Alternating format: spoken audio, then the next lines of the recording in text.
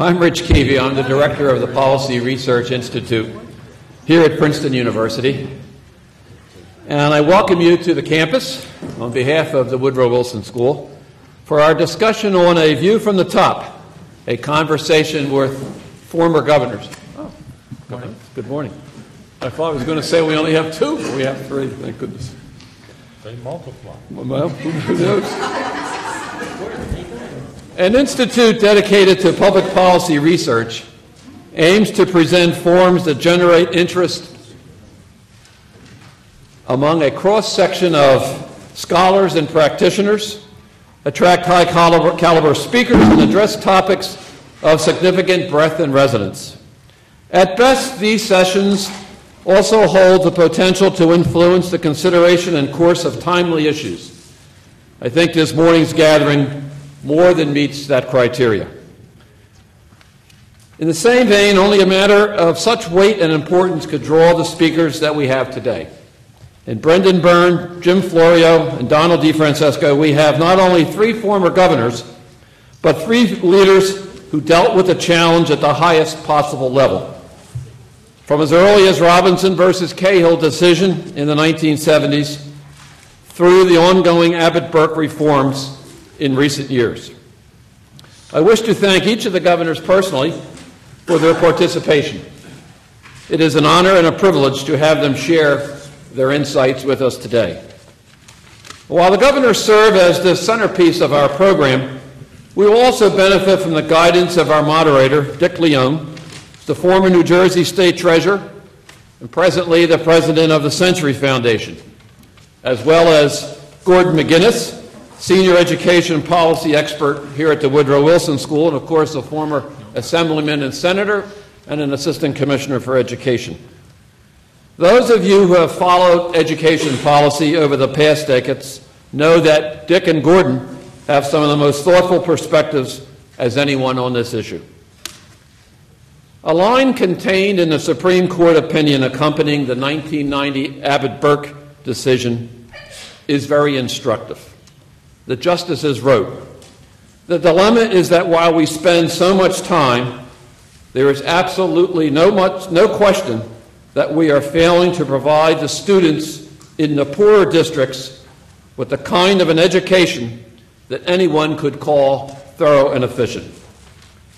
As a matter of fact, of course, the debate on Abbott Burke continues to this very day, as reflected in Governor Corzine's recently proposed school funding plan. Based on the data just released by the governor, he intends to maintain a foundation formula. The local fair share will continue to be based on property values and income, as well as the concentration of needy students, especially where they live. How Governor Corzine's plan evolves will write the next chapter, next chapter of Abbott Burke. In closing, I'd like to take the opportunity to thank our co sponsors from the Public Education Institute at the Center for Effective Practices at Rutgers University. In particular, I want to acknowledge and introduce Herb Green. Herb is the director of the Public Education Institute and one of the most tireless education advocates in New Jersey. And without Herb's vision, commitment, this morning's event probably would not have come to fruition. So without further ado, let me turn to Herb for a few comments, and then he'll turn it over to our moderator, uh, Dick Leone. Herb, please.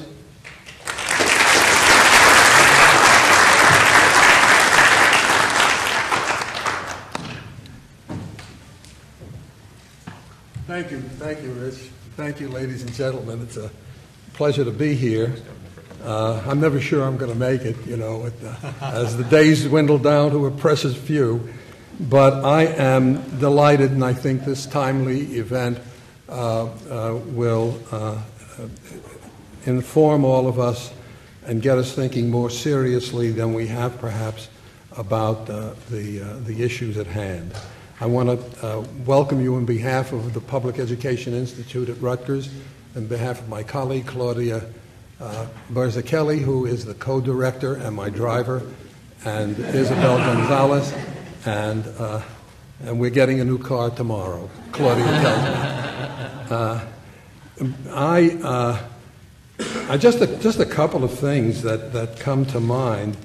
Uh, one is that uh, I remember the 1977 gubernatorial campaign when uh, Governor Byrne had half the state of New Jersey running against him in the primary. And, uh, but he, he got there, and then I heard him in a debate at the New Jersey School Boards Association convention in October, in which he debated his opponent in the election. And uh, I was so stirred by that. I remember as a young boy then uh, running up to him and shaking his hand and telling him how much that speech meant to me. And obviously, it meant a great deal, uh, similar speeches meant a great deal during the election. This, uh, despite the fact that the income tax was a big issue, uh, if you remember, in 1977. And, and then, of course, there is Governor Florio, uh, whom I've admired tremendously uh, from, uh, well, long before he took the position of governor. And I reminded him this morning of a, uh, a, speech of his that I ran across. It was an, and I've had it in my, in my file for a long time. It was his acceptance speech uh, at the, uh, where the trustees of the John F. Kennedy Library Foundation uh, gave him an award. And his speech really um, uh, describes everything that Jim Florio has meant, I think, to the state and, and to the citizens in it. I, he, um, uh, I can't read the whole thing, although I offered it to, and he said he'd give me his time uh, if, if I wanted to do that but I, I, I, can't, I can't do that. But, but he did say so many wonderful things. Um, and, he, and among them were, he says, I believe, I don't believe in carrying those who can walk, neither do I believe in refusing a hand to those who stumble. I believe instead that all of us must accept responsibility for ourselves, our families, and our communities. And if we are fortunate enough to be chosen for public office, we must accept the responsibility of making difficult decisions. We don't get to choose the times in which we live, but we do get the chance to determine how we respond to those times. We can consign our children to inadequate schools, or we can choose to make our schools better. And we know what choices uh, Governor Florio made. Now, as to the gentleman on the end, uh, he uh, he, I think he was an assemblyman before one of the many redistrictings in, in, uh, in the state of New Jersey, and he actually was an assemblyman in covering Plainfield uh, at, yes. at, one, and that's where I lived and live now. And he came to call me the troublemaker. I mean, he never called me by name. Ah, the troublemaker. I see him in a diner for a cup of coffee. Ah, the troublemaker. Well, when I, believe it or not, you see this kindly old man before you. In years gone by, I was a troublemaker. I admit it. I admit it. Uh, let me just uh, uh, point out to you uh, that book uh, uh, sitting right there. Is there a book sitting there? Could you hold that book up? This is the last thing I want to say. That's a newly published book entitled Other People's Children the battle for justice and equality in New Jersey's public schools. And that's going to be a, kind of as a follow up to this meeting. That's going to be a follow up on January 29th to, the, uh, to this meeting because the subject is the same. And I'm delighted to say that, uh, to point out that the author of that book, Deborah Yaffe, is here, and she's going to appear on January 29th, and we're going to extend and continue this discussion. And now to get right to it, uh, it's my great pleasure to introduce uh, to you uh, the uh, president of the Century Foundation and the moderator for this morning, Richard Leone.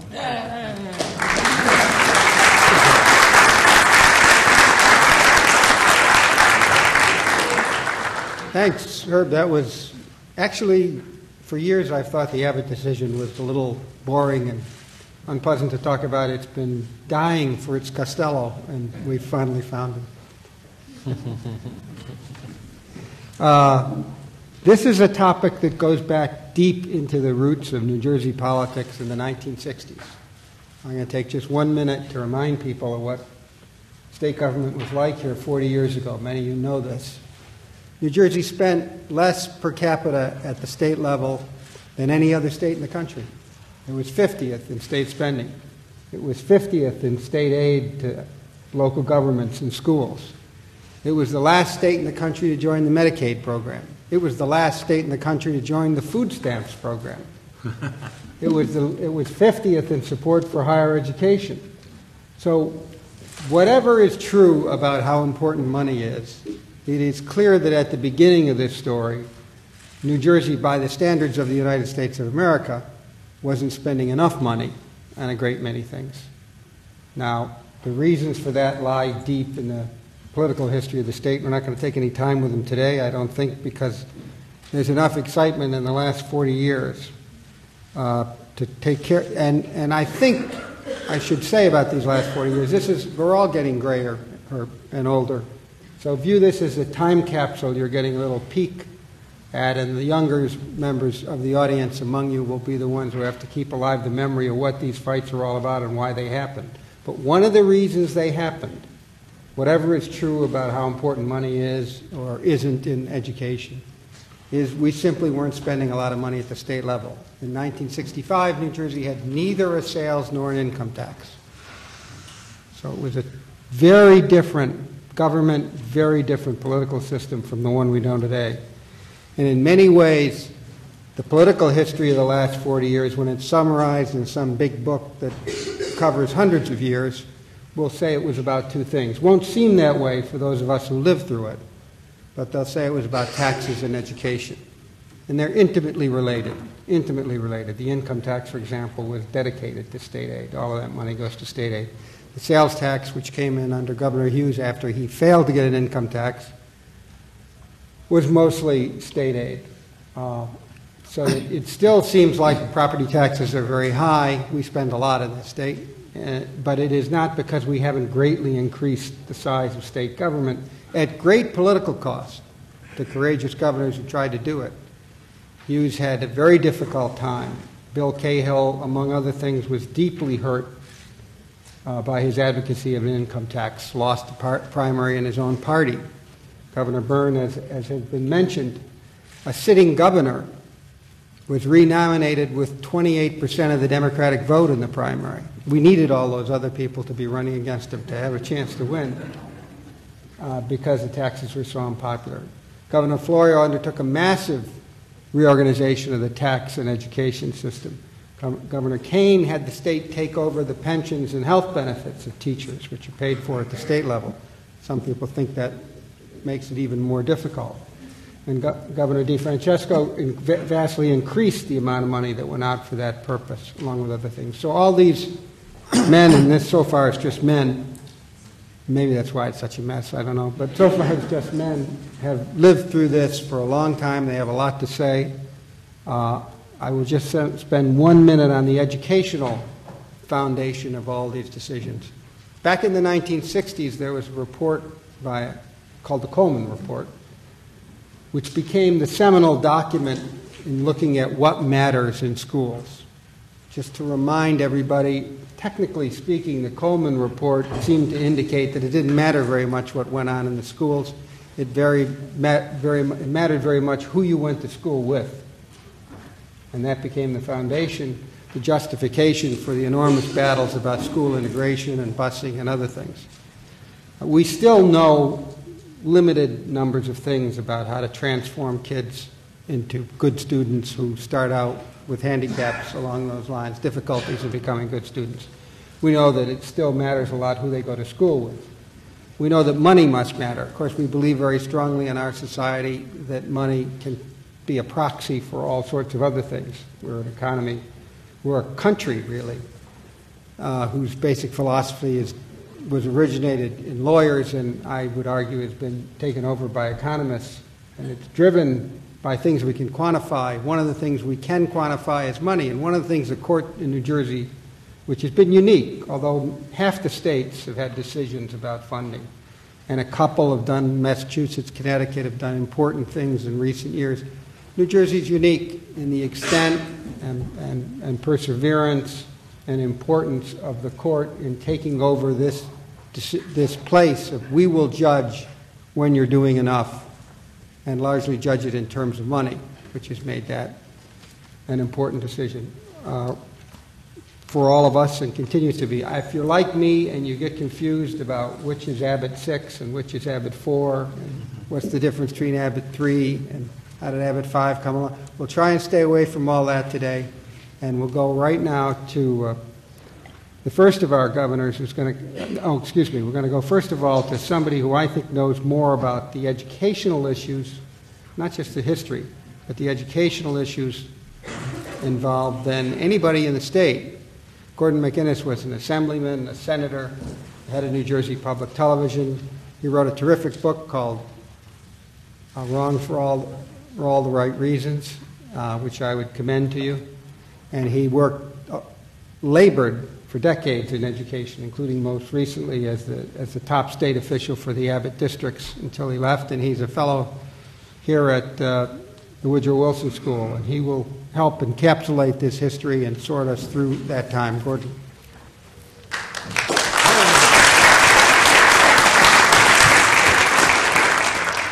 Good morning. Uh, the idea that I'm going to limit myself to 15 minutes to discuss Abbott is uh, terrifying to me, and it probably will be at the end to you as well. Um, but I'm going to try. And I'll be very uh, quick to jump to trying to set a perspective for this morning's discussion. Let me start with two uh, blazing generalizations that I won't try and defend, but please accept them as truth. First, New Jersey is uniquely positioned to be the first state in the Union to have a decent chance to close the achievement gap. Uh, we have, because of Abbott, we have adequate resources to carry out that work. And because of Abbott, we have something very special, which is that we offer children in 31 very poor districts the opportunity to start school at the age of three. And that is an essential step, I believe, in closing the achievement gap. The districts involved in Abbott for the past, uh, well, particularly for the past 10 or 11 years in terms of funding have the resources, if they are spent in the appropriate way, to show dramatic progress in closing the gap.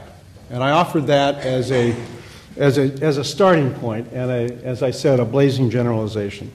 Secondly, uh, I suggest that Abbott is no longer sustainable politically, financially, or morally. That we cannot politically see as a permanent situation a program under which 60% of the operating state aid goes to districts where only 20% of the students are found. And incidentally, we're only 20% of the taxpayers and 20% of the voters are found. I don't think over time that that is sustainable, and I think the governor's uh, yet uh, recommendation of this week puts that into context. Secondly, New Jersey can't afford to maintain that system. The state is close to broke, at least in the, in the words used by the current governor and his immediate predecessor. Uh, and the idea that we're going to be able to extend the Abbott idea across the board to dozens of other districts is not financially something that can be done. And finally, it's not sustainable morally. The Supreme Court wanted poor children in this state to have an opportunity to be given the same choices in life that middle class kids have. That's what Abbott is about.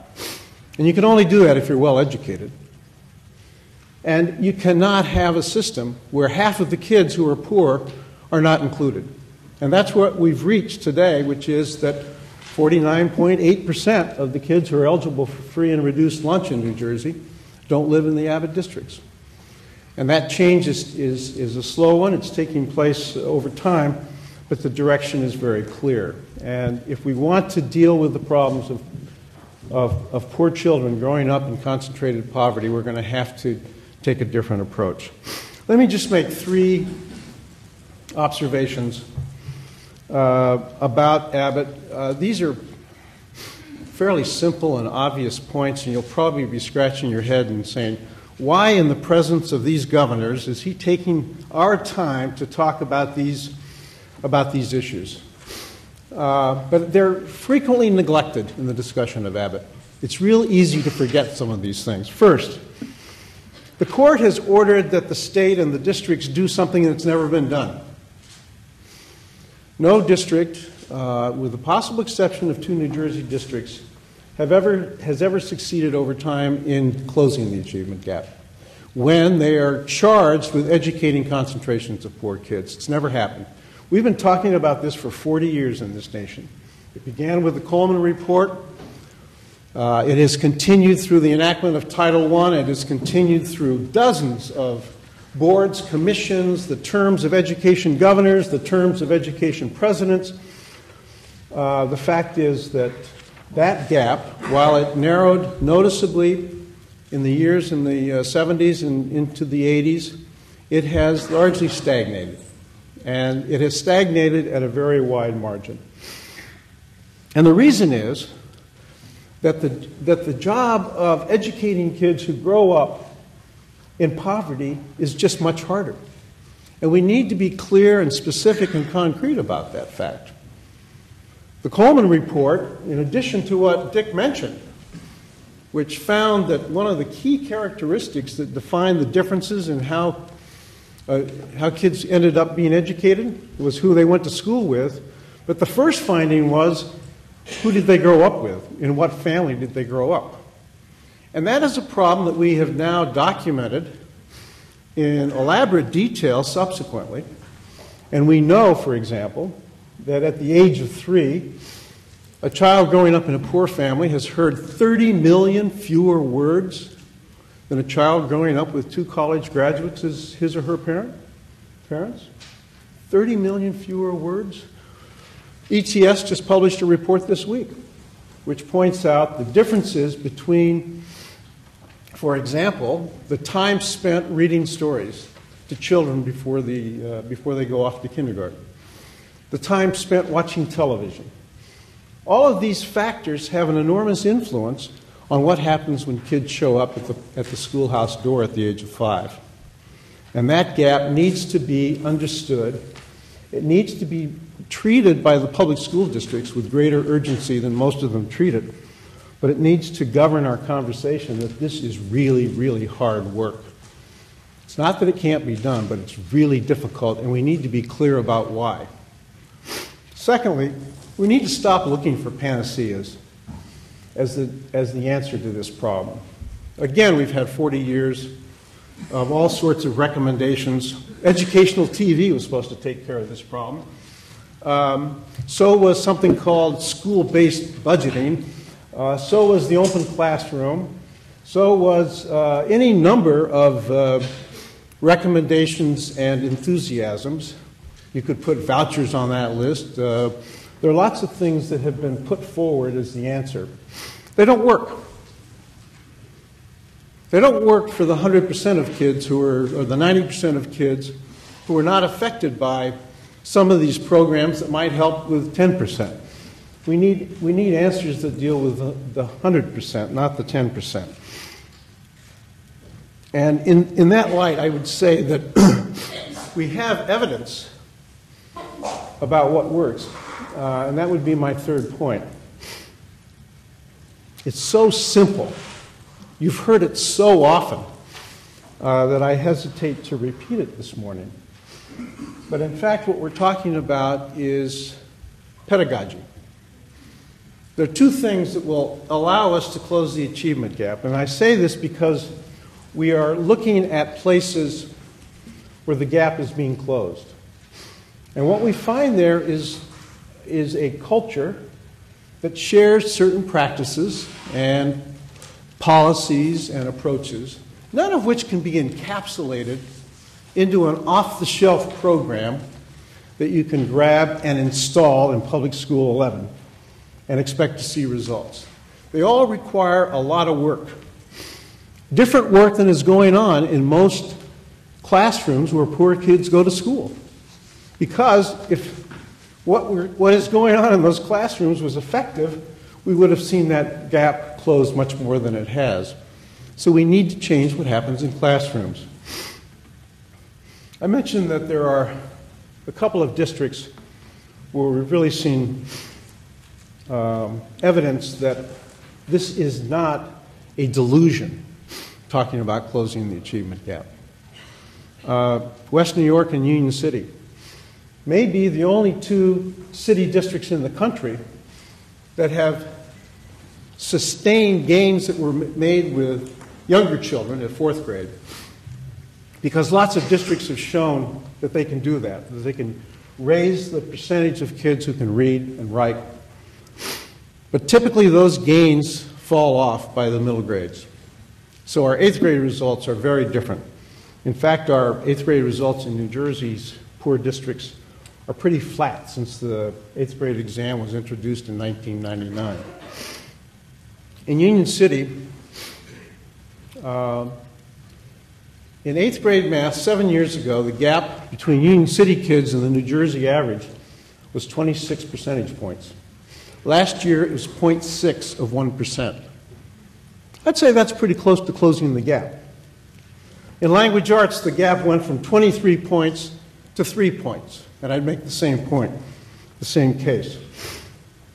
And we've also seen that in a number of Abbott districts that the ability to greatly increase the percentage of kids who are, who are competent readers by third and fourth grade, uh, those districts have shown dramatic progress in the last five or six years. Districts like Orange, Vineland, Perth Amboy, uh, East Orange, Elizabeth, Jersey City, uh, so we have a range of districts with different demographics and economics showing that this is work that can be done effectively. And what do they do? They all do pretty much the same thing. First of all, they set academics as the primary goal.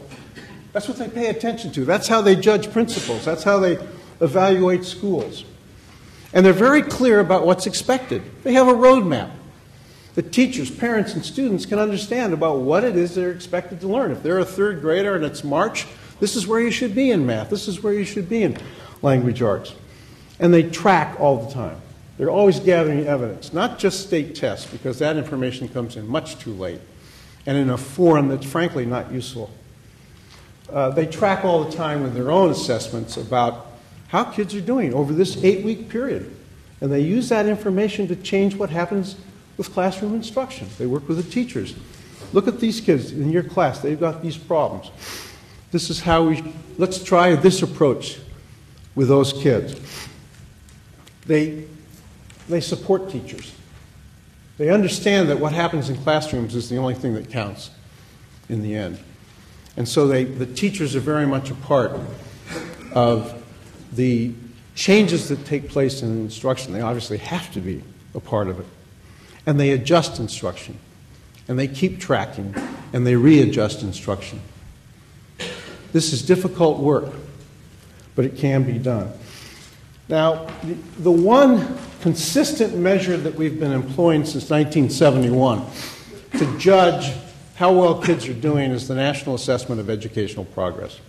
And we could argue about some of the psychometrics of it or whatever, but it does provide us a fairly consistent and uniform measure of how well kids are doing.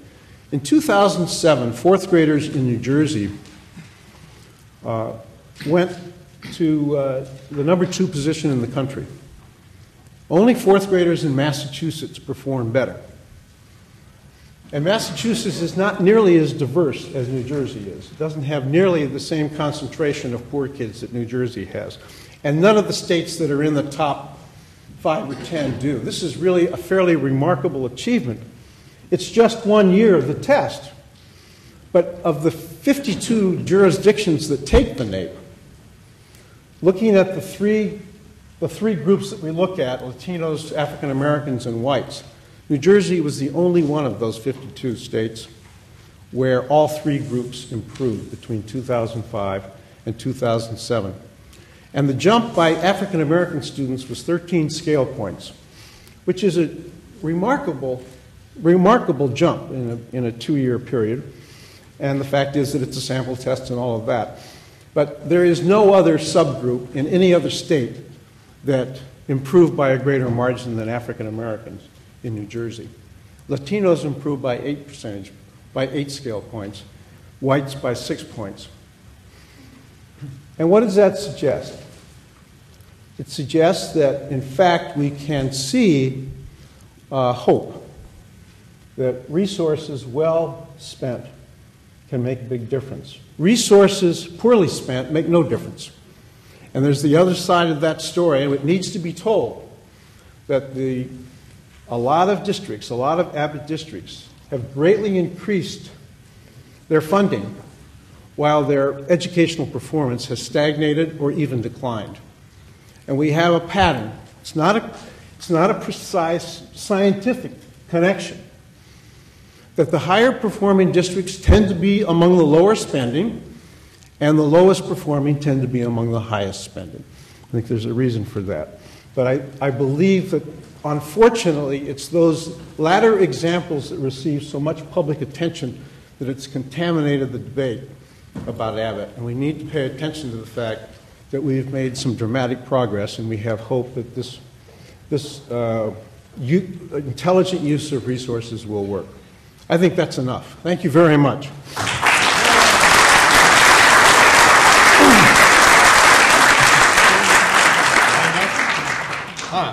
I'm next. Governor Byrne. Well, first of all, let me lament the fact that Governor McGreevey isn't here. I, I think he was an educational governor. Uh, the, the morning of his, uh, or the day of his inaugural, he, um, he immediately adjourned and read books to kids. So uh, he, he would have made a contribution, and I understand that he, some conflict developed at the last minute, and he didn't make it. Uh, I want to I want to say a couple of things before I speak.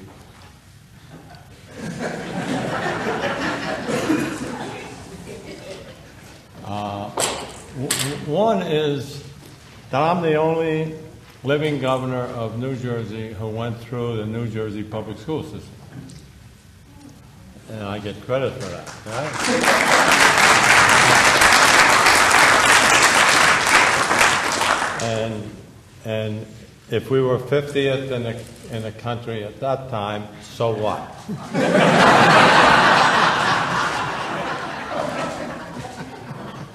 Uh, A couple of other, a couple of other observations I'd like I'm not going to be too long, because, you know, I don't know much about education. Uh, I think we're talking to the wrong people. Uh, uh, how, how many of you have ever taught school? You, you did a little bit, didn't you? But, but not school kids. School kids? Good. Any, any of you ever read a book by Frank McCourt called Teacher Man? Some of you, some of you. The point he, one of the points he, well, first of all, let me, let me talk about Frank McCourt because he's a buddy of mine. He, he taught in two separate schools in New York. One was uh, where he was dealing totally with people who all he had to do was discipline. He, he really couldn't teach. And it was a question of, of getting those kids through the day. And then the second opportunity he had was to teach at Stuyvesant High, where he got the talented students and he was able to teach them. Now, it was the same Frank McCourt, it was different students. And so, let's, let's take a look for a minute at what he has to say about how you approach the educational problems. He says, talk to the teachers, talk to the people who are in the classrooms dealing with these kids. And I, and I think he comes out with the conclusion that you've got to get them very early. And so we've recognized that in New Jersey, and we're starting to put money into the three-year-olds four, where I think uh, it will make a difference. And, and after, after a certain age, it becomes a lot more difficult to, uh, to turn a kid around. Uh, if he's on the right track, and, and you see it. I mean, I have grandchildren uh, children now, and by the time they're three or four, they're well on the way. I, I took my four-year-old to Pal's Cabin the other day, and she looked at the menu, and she said she wanted chicken fingers. Now, she read the menu, and the menu said chicken fingers. And now there are a lot of kids that age who can't read at all. And so that's why I think that you got to get them early. And you got to get not only the kids, you got to get the you got to get the parents, you got to get the parents reading to them. And I guess I guess the point I'm making here is that a lot depends on what you do with parents. And so I would, I would put my, and, one other point I'm, I make is when we talk about school funding, we talk about how many dollars we need. I have never seen really a discussion of what we need it for. Uh, my, my son wrote an op ed piece for the Ledger early this week in which he pointed out that thorough and efficient are two words and that we ought to look at, at both the money that goes into it and the program, that, what, what the money pays for. I, I do think that we got to start looking at what the money pays for. And so uh, I got in. I got into thorough and efficient pretty early. At the time that I took office in 1974, uh, Robinson versus Cahill uh, was the law. People believed that we needed funding for education. People supported, in the long run, supported the state income tax because they believed it was going to do something. It was going to do something for kids. It was going to do something for education. People no longer believe that. They no longer believe that money solves educational problems. And as Gordon said, you're not going to get them to keep advocating more and more money for education. You got to, you got to have people believing that we're doing something, and what the, the hundreds and, and millions of dollars that have gone into education since my days in West Orange High School uh, are, are, making a difference, and, and we don't see it. And maybe we can't see it. Maybe, maybe by the time we get kids into the public schools, they're too far gone. And I urge you to talk to not former governors, but people who've been in the classroom. I had a daughter who taught here in Princeton for a couple of years. She, she got a degree at Princeton. She got her she got her Harvard master's degree. She taught in a classroom. Nobody listens to her, uh, but she probably knows more than anybody in this room about what happens in the classroom and how you might be able to uh, use those experiences to do something different and something better. So I, I come here more to listen to what's going on today and, uh, and to respond to the fact that we, we in 1974, and Dick Leone is the guy who put together the, he won't tell you, the, uh, the first state income tax. uh, and, and, we, and we believed it then. We believed it then. We don't believe it. At least I don't believe it now.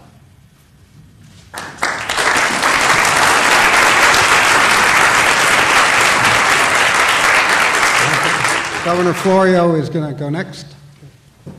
Thank you, and good morning to um, everyone. Governor uh, Byrne laments the fact that Governor McGreevey is not here. I always lament the fact when Governor Kean doesn't show up. Because the sequence is I always have a buffer between me and Governor Byrne and Governor Kean. And Governor Kean is much easier to follow than Governor Byrne is.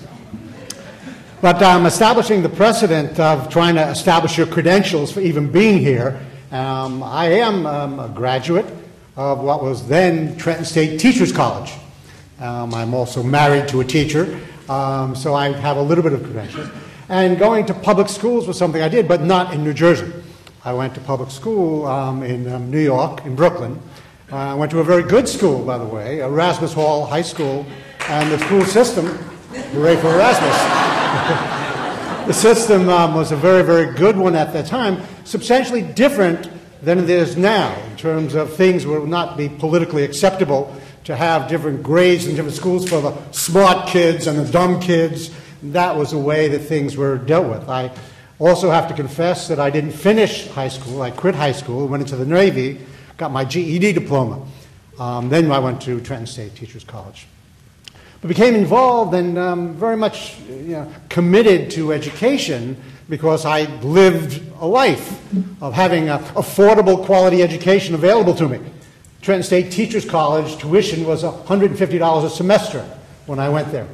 And I was only able to afford it because I got the Korean War GI Bill, $70 a month, which allowed me to go and get a good quality education at an affordable rate. When I came into office, obviously Governor Byrne, Governor Kean had been through a little bit of this um, process of trying to define what the policy was going to be in New Jersey to provide a quality education for all of our students.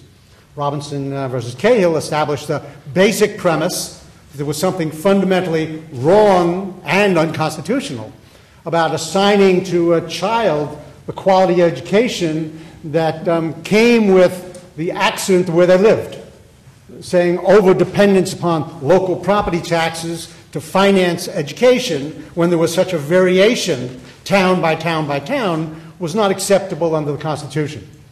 And that was something that we, um, and Governor Kean, or Governor Byrne rather, led the effort to try to have more state monies put into the process so as to equalize the opportunity, the opportunity to be able to have a quality education for all of our children. Abbott versus Burke started to put some flesh on the bones of how it is you do that. But the court very modestly and perhaps correctly at the outset said, we don't know what the actual indicators are for good educational outcomes for all our young people across the whole state. But what we do know is that the high performing districts happen to be affluent, and the underperforming districts happen to be very, very unfunded and very poor.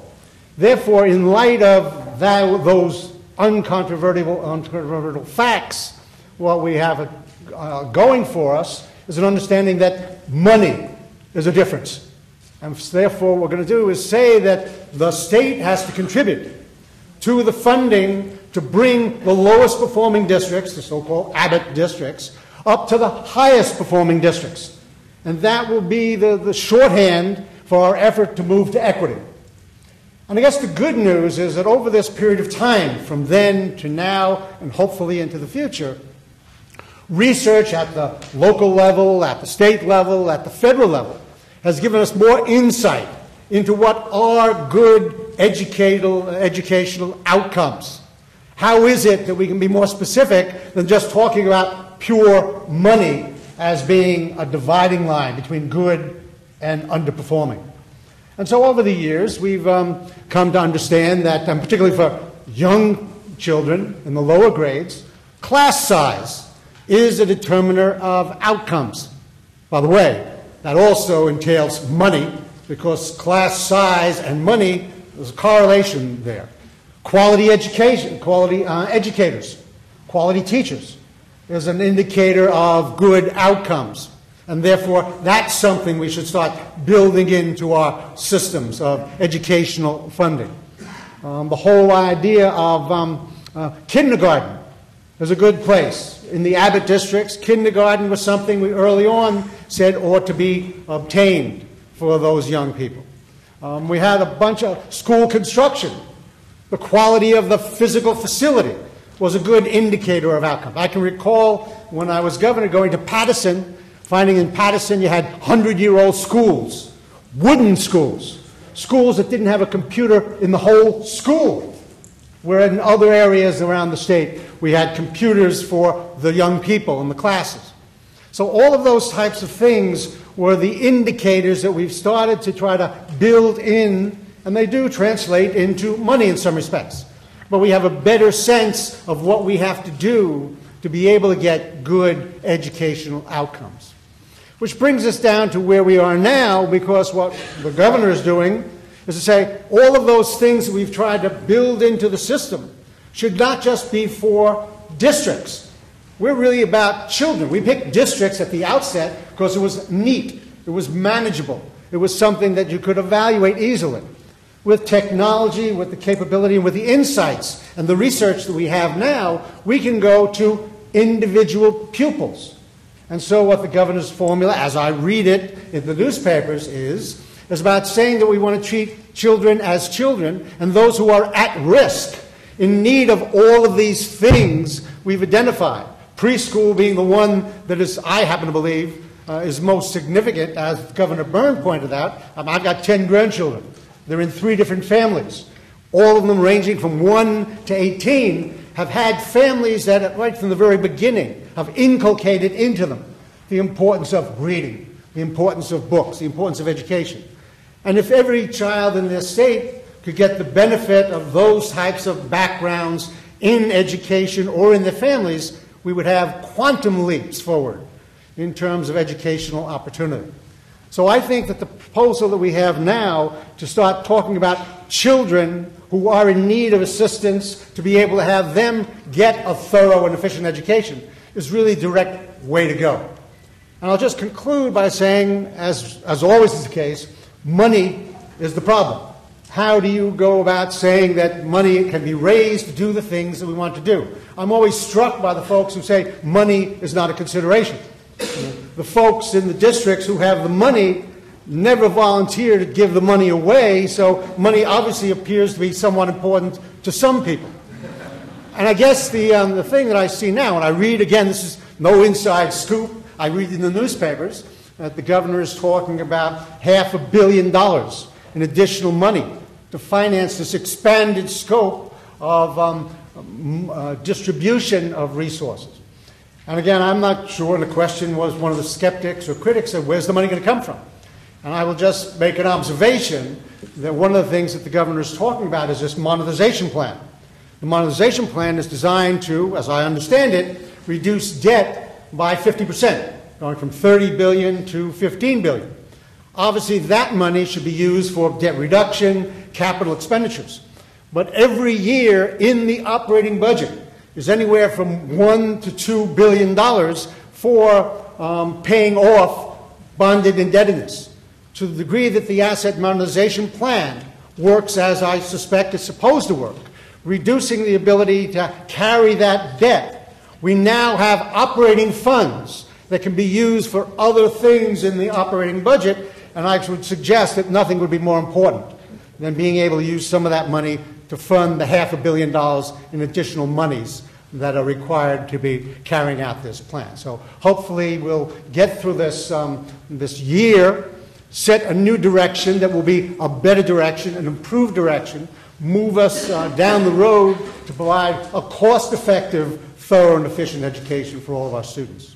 Thank you.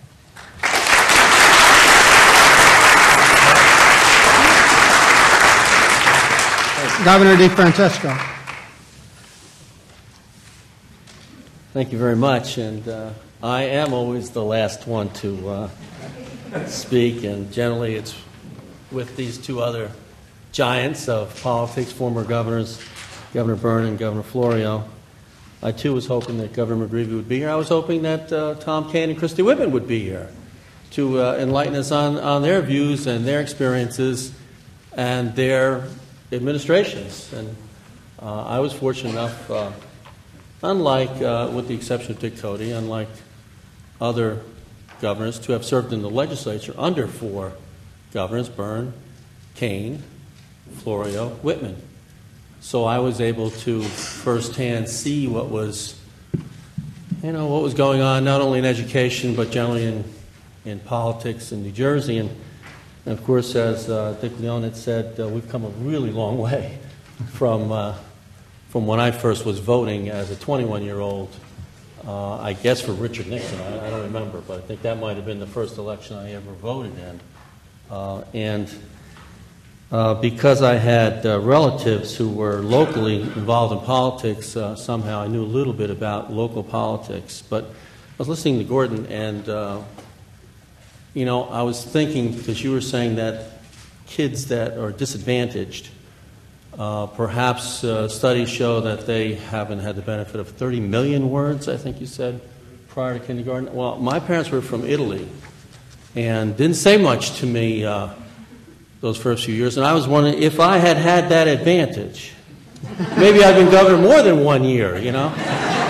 Maybe I would have had the benefit of those extra years. But uh, I had a, uh, I had three older sisters and an older brother. And my oldest sister was at Douglass College when I was born. Uh, I don't think it was called Douglass College at that time. It was called the New Jersey College for Women.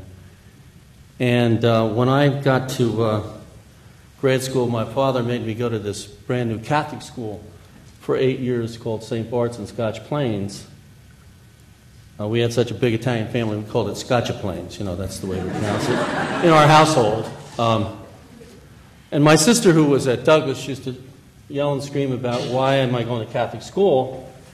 You're not getting as good an education as you would in public school, because she was a teacher and uh, a strong believer, and she taught in Plainfield, a strong believer in public school education. So when I got out of that Catholic school, I went right to the public high school in Scotch Plains and had a great experience there, and then went on to uh, college and fortunate enough to have gone to law school.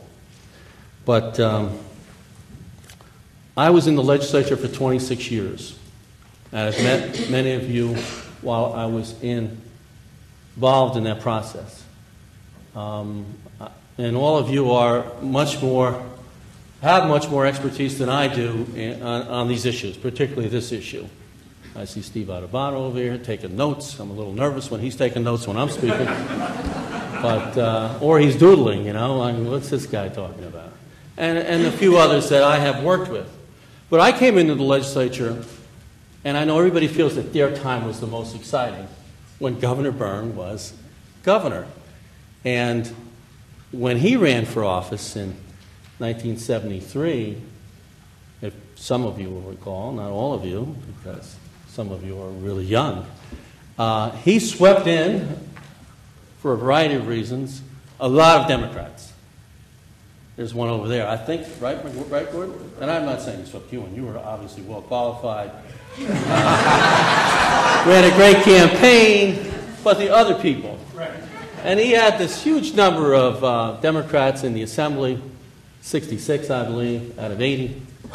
A huge number of Democrats in the Senate, I, I think 31 out of 40. And an overwhelming majorities. And, and I wasn't in politics at that time. And I had voted in the primary for Governor Cahill, although he lost the primary, and made a few calls for him at the behest of my uncle. And um, two years later, they were looking for candidates to run on the Republican Party because everybody was wiped out in, in the legislature. And because I had all these relatives in Scotch Plains, uh, and that, that Scotch Plains was a major part of the district at that time, somebody asked me to run for the assembly. And that's what happened. That's pretty much what happened. I never served as mayor or freeholder, never had that opportunity or any other office, but I was thrust into this assembly in the election of 75 and, and seated in January of 76. And immediately, the governor proposes well, no, I don't think the governor proposed it that year. I think he let the legislature propose it this income tax. I think you decided that you were going to sit back. I think the Governor Byrne was going to sit back and let the legislative leaders, and there's a man who was there with me, not with me, but with uh, legislative leaders, deal with this issue of funding T&E. And it was an amazing year. It was a 1976, uh, besides being the bicentennial, Uh, It was an amazing year politically because I was able to sit back as a little guy in the assembly in the back row, watching uh, the leaders of the legislature try to deal with this difficult issue of enacting an income tax for the first time in New Jersey, which I, I think Governor Cahill had proposed and Governor Byrne had proposed in an effort to deal with this issue of funding for not only schools but generally in our budget. Uh, and, and I watched and I learned. You know, one thing uh, I've always said to kids, particularly college kids, is that don't think that the people that sit in the legislature, pardon me for saying this, Gordon, are all Rhodes Scholars, that they're all valedictorians, that they're wonderful people who know everything about any issue. They don't, you have to assume that they don't know anything about the issue you're talking about. So I became educated in 1976 on a variety of issues uh, around the state of New Jersey that I had never even dreamed about before, whether it be in human services or education or what have you. And it was a great experience for me, those first couple of years. Uh, the schools were closed. I read one of the, the schools were closed theoretically on July 1st of uh, 1976. I don't know what kind of impact that had on the legislature, but the income tax was passed. Uh, Governor Byrne let us go on July 4th to celebrate uh, July 4th, and we had to come back. And it was one of those weeks where, and you've read about those weeks where you have to be there around the clock, around the clock, around the clock. And it passed, was enacted, and I guess, I think at the time, and I'm doing this by recall now, everyone thought, well, this is probably going to help solve the funding crisis for education in New Jersey. And my recollection was that obviously there was an infusion of tremendous amount of money in the beginning. But the formula, whatever that formula was, grew rapidly, grew rapidly. And the cap on suburban spending, I'll call it suburban spending, I mean, the cap on spending in other districts lasted about five minutes. Right? It, I mean, the Teachers Association, et cetera, lobbied hard to get that lifted. And so that went by the wayside, and spending increased every year. And as spending increased every year in the suburban districts, the, the need to fund the Abbott districts increased because they were tied. So the school district in Short Hills, and I'll say Millburn Township, as they spent more money, so did the need to fund the Abbott districts, and that created, you know, issues over the years as there were recessions from time to time. This wasn't a formula that was geared to, you know, how much revenue was coming into the treasury. It was designed specifically to deal with what is everybody spending around the state. What are the higher income or the wealthier districts spending so that the Abbott districts could keep up with those districts, and they did through various court decisions, through various tax increases, et cetera. In fact, I, you know, I voted for taxes, I voted against taxes. I was there 26 years. I mean, remember on uh, uh, Governor Kean was governor. It was a difficult couple of years in the beginning, and uh, almost on New Year's Eve or something like that of 1982, we passed, we raised the income tax, and we raised the sales tax, I think, at the same time.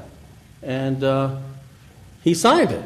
He probably would never tell you that, but he signed it. And, uh, right, Jim? He would never admit to that. In fact, I was with, uh, I don't know where, I was with uh, Assemblyman Doyle when, when he signed it. And, and even though I thought, and I was the Senate Minority Leader at the time, the early 80s, I thought we were doing Governor Kean a favor by raising these taxes. When he signed it, he was very smart politically when he signed it. He said, I'm going to sign it with holding my nose. I'm going to sign these bills. I really hate these bills, but I'm going to sign them because I guess we have no choice. I said to John, I said, wow, I, I voted for this, you know, and, and uh, I learned a lot about politics that day, too. And uh, so as the years went on, the need for increased funding just kept going up and up and up, and, and it's been very difficult to keep up. And Gordon addressed a lot of this. And it was very difficult to deal with the courts, too. I mean, you weren't, uh, well, a lot of my colleagues, Democrats and Republicans over the years, were screaming, hollering, shouting, yell about this formula and why do we have to do this and why do we have to do this and why doesn't their district get more money? And, and you know, the only answer you had is because the court won't allow us to do the things you want us to do because the Abbott districts are funded through T and it's through a formula that is pretty much, was pretty much untouchable. As we got into the 90s, and Governor Florio uh, legislatively addressed uh, a, lot, a lot of issues uh, dealing with education through, through the Quality Education Act, and, and while controversial, his motivation and his intentions were unbelievably pure and idealistic and, and right. Uh, and I, believe it or not, I, I was lucky enough to, to uh, be elected Senate President because of him. Uh, um, and I can say that then because we are friends. And, I, and, and uh, I'll never forget this. Uh, you know, uh, I was in the, uh, he had won an election. I've been in, I thought I'd been in the Senate a long time. I mean, based on some of the colleagues that I left, when I left the Senate that were still there, I hadn't been there a long time. But I mean, 10 years seemed like a long time to me, being one in the minority in the Senate. And I was finally saying, gee, you know, maybe I should do something else with my life. And then when I saw that Christie Whitman almost beat Bill Bradley, talking about Rhodes Scholars, uh, I said, wow, we, we might win the legislature next year. And sure enough, we did. And um, I was fortunate enough to be picked as the president, future president of the Senate in January of 92 to work with Governor Florio in 92 and 93. And funny how these things happen. I mean, you have all these people who, you know, you're trying to get press, you're trying to get your picture in the paper, you're trying to do this, and then, of course, once that happened, I was trying not to have my picture in the paper anymore, but um, once I, an article appeared in the New York Times, and I won't go into details, but the title of the article was Mr. Bland Goes to Trenton. Me. Uh, um, George uh, Will called me. I thought it was another uh, John Russo joke. Senator Russo used to call, uh, have people call me with uh, all kinds of different names.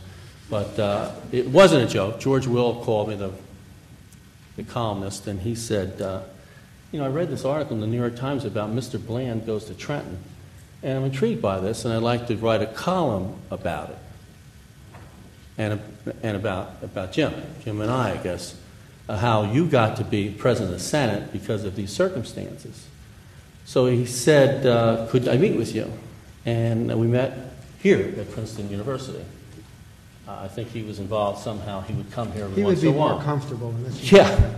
We met here, and he wrote a column of how this man, through his courage and through his drive, had done this, this, and this. And as a result of that, this guy was lucky enough to get to be president of the Senate. And that was the gist of his column. And of course, you may not have this experience, or you may, but when something like that appears around the country, you're bound to get a high school classmate write to you and say, Are you really this guy? Are you really president of the Senate in New Jersey? You? You know, you, I got a couple letters like that. Um, so I guess uh, if I could quickly just mention a couple of things while I was president of the Senate and Governor Florio and Governor Whitman were governor, and then I had one year as governor. Um, a lot of the focus continued to be on Abbott. Uh, we, we, did, we did agree to uh, uh, fund and, and mandate preschool education and, and uh, in the Abbott districts, and I thought that was a great thing. I visited a number of pre, uh, preschools and a number of schools dealing with that, and, and I found that that was at least something um, that appeared to be having great results. And I think uh, all everybody has mentioned that, and, and results in a variety of ways, not just in kids learning to read and write, but identifying problems with kids, uh, whether they need glasses, um, a prescription for such and such, other problems, not just educational problems. You get kids with teachers and they recognize, well, this child has this problem, this child has that problem.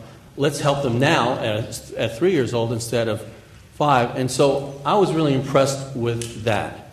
Yes, it's expensive, but I thought it was well worth the money. And you know, the problem with legislators in the legislature is they view themselves as being there short term.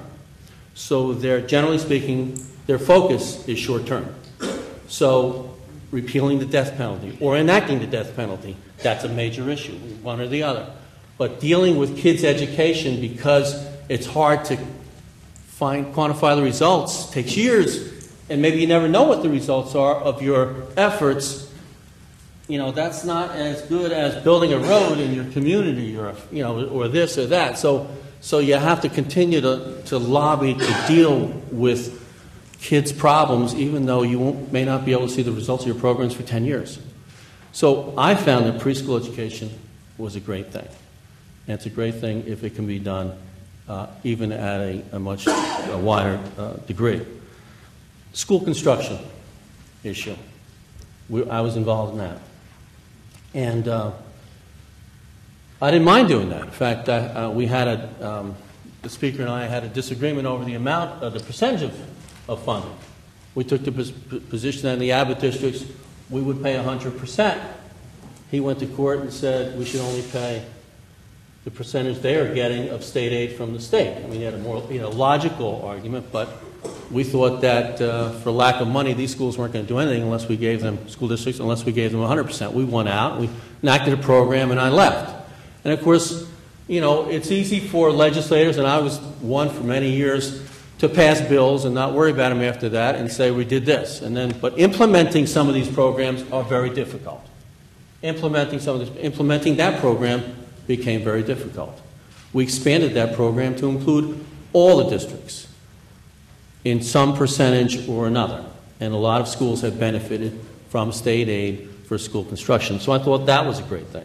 And Herb, I, if it wasn't for me, Plainfield wouldn't be an Abbott district today because I insisted that Plainfield and Neptune be, be added to the Abbott districts. And I know that probably was just a, a tiny little uh, tip of the iceberg thing because I also knew at the time that there were a lot of other districts that needed help that, that could qualify for uh, substantial help if we had been able to revise that formula. But I felt all, all the years I was a legislator that Plainfield should be an Abbott district, and when I was in a position to do it, we did it. With respect to the governor's plan, um, I think it's I think it's fabulous if it can be implemented in, in a proper way. I, I think that if, as I said, if you can identify poor kids who will benefit from preschool, uh, who don't have the the, the, the uh, uh, opportunity to do that now, uh, I think it's wonderful. It's the implementation that will, will be you'll be bogged down in and and will have uh, great difficulty in, in dealing with the districts or the facilities or the teachers, all of the arguments you'll read about. But I think that it, it uh, is, as a policy measure, it's a great idea. I, uh, I want to say it's been uh, an honor to uh, have been governor for one year. Uh, we had some difficult issues that year. 9/11 was uh, occurred in that year, and there were some anthrax issues down in Hamilton and a few other places. But it was a great honor to be there for that one year, and it was an honor to serve with Governor Florio, serve with Governor Byrne, Kean and Whitman, uh, Jim McGreevey has been a close friend of mine for many, many years. I hope to see him today.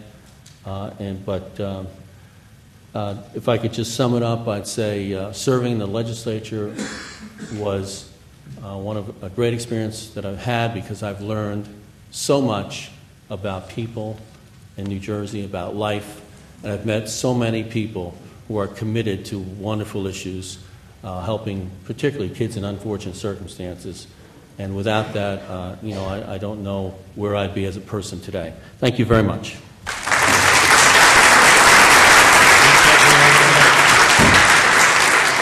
I, I'm going to open this up for questions in a minute. I just want to ask one uh, question. In addition to having served in government and as governors, all three of these men are lawyers and uh, have various times in their career taken that very seriously. Governor Byrne, of course, was a judge. The question I have is this Has the court, all these years, when it is defined the issues in education largely by a series of decisions uh, in a particular way, has it overreached? Has it misinterpreted the role it should play in trying to do something about education? Has it taken this clause in the Constitution and expanded it into uh, premise that for all educational decisions. And sure. Can I just say something quickly that uh, my observation um, about that is having the focus just on the school district, the school children, um, made sense at the time. What what I personally observed, I mean, here you have like a Camden, Jim, a Camden, where the school district's getting tons of money as a result of the decision and over the years.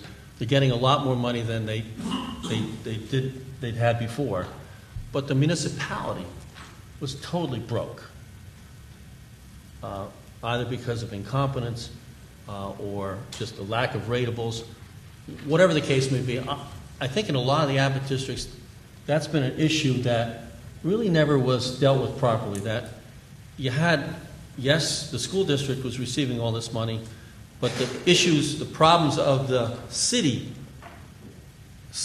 still persisted year after year after year. And I'm not talking about Camden, but you know, there might be a situation where you had corrupt government in one town, incompetent government, um, lack of ratables, lack of funds in any way, bankruptcy, and the school district. And, and you can't, I don't think you can separate those two. Uh, I, I think they go hand in hand. I think, you know, the, fam, the family structure is just as important as, as having the teacher in the school, in the facility, uh, adequately funded. Yeah, Donnie makes the point. The point he just made is that in certain areas, nobody will do anything, and so the court steps in. And that's exactly what's happened in education. I mean, the problem he talks about, the courts could, could move in tomorrow and say, hey, you gotta do this, you gotta do that, or it rises to a constitutional level. Uh, They did it in education. Did they overstep the bounds? Probably. Have they, have they done, uh, have they done more than they had to do? Maybe. Uh, Incidentally, one of the issues that, that that came up in both Robinson versus Cahill and maybe Abbott is whether the right to a thorough and efficient education was based on the New Jersey Constitution or whether it was based on the federal Constitution. The United States Supreme Court said in the Texas case that it was not based on the federal Constitution. That doesn't stop the New Jersey Supreme Court from saying that it's based on a different provision of the New Jersey Constitution.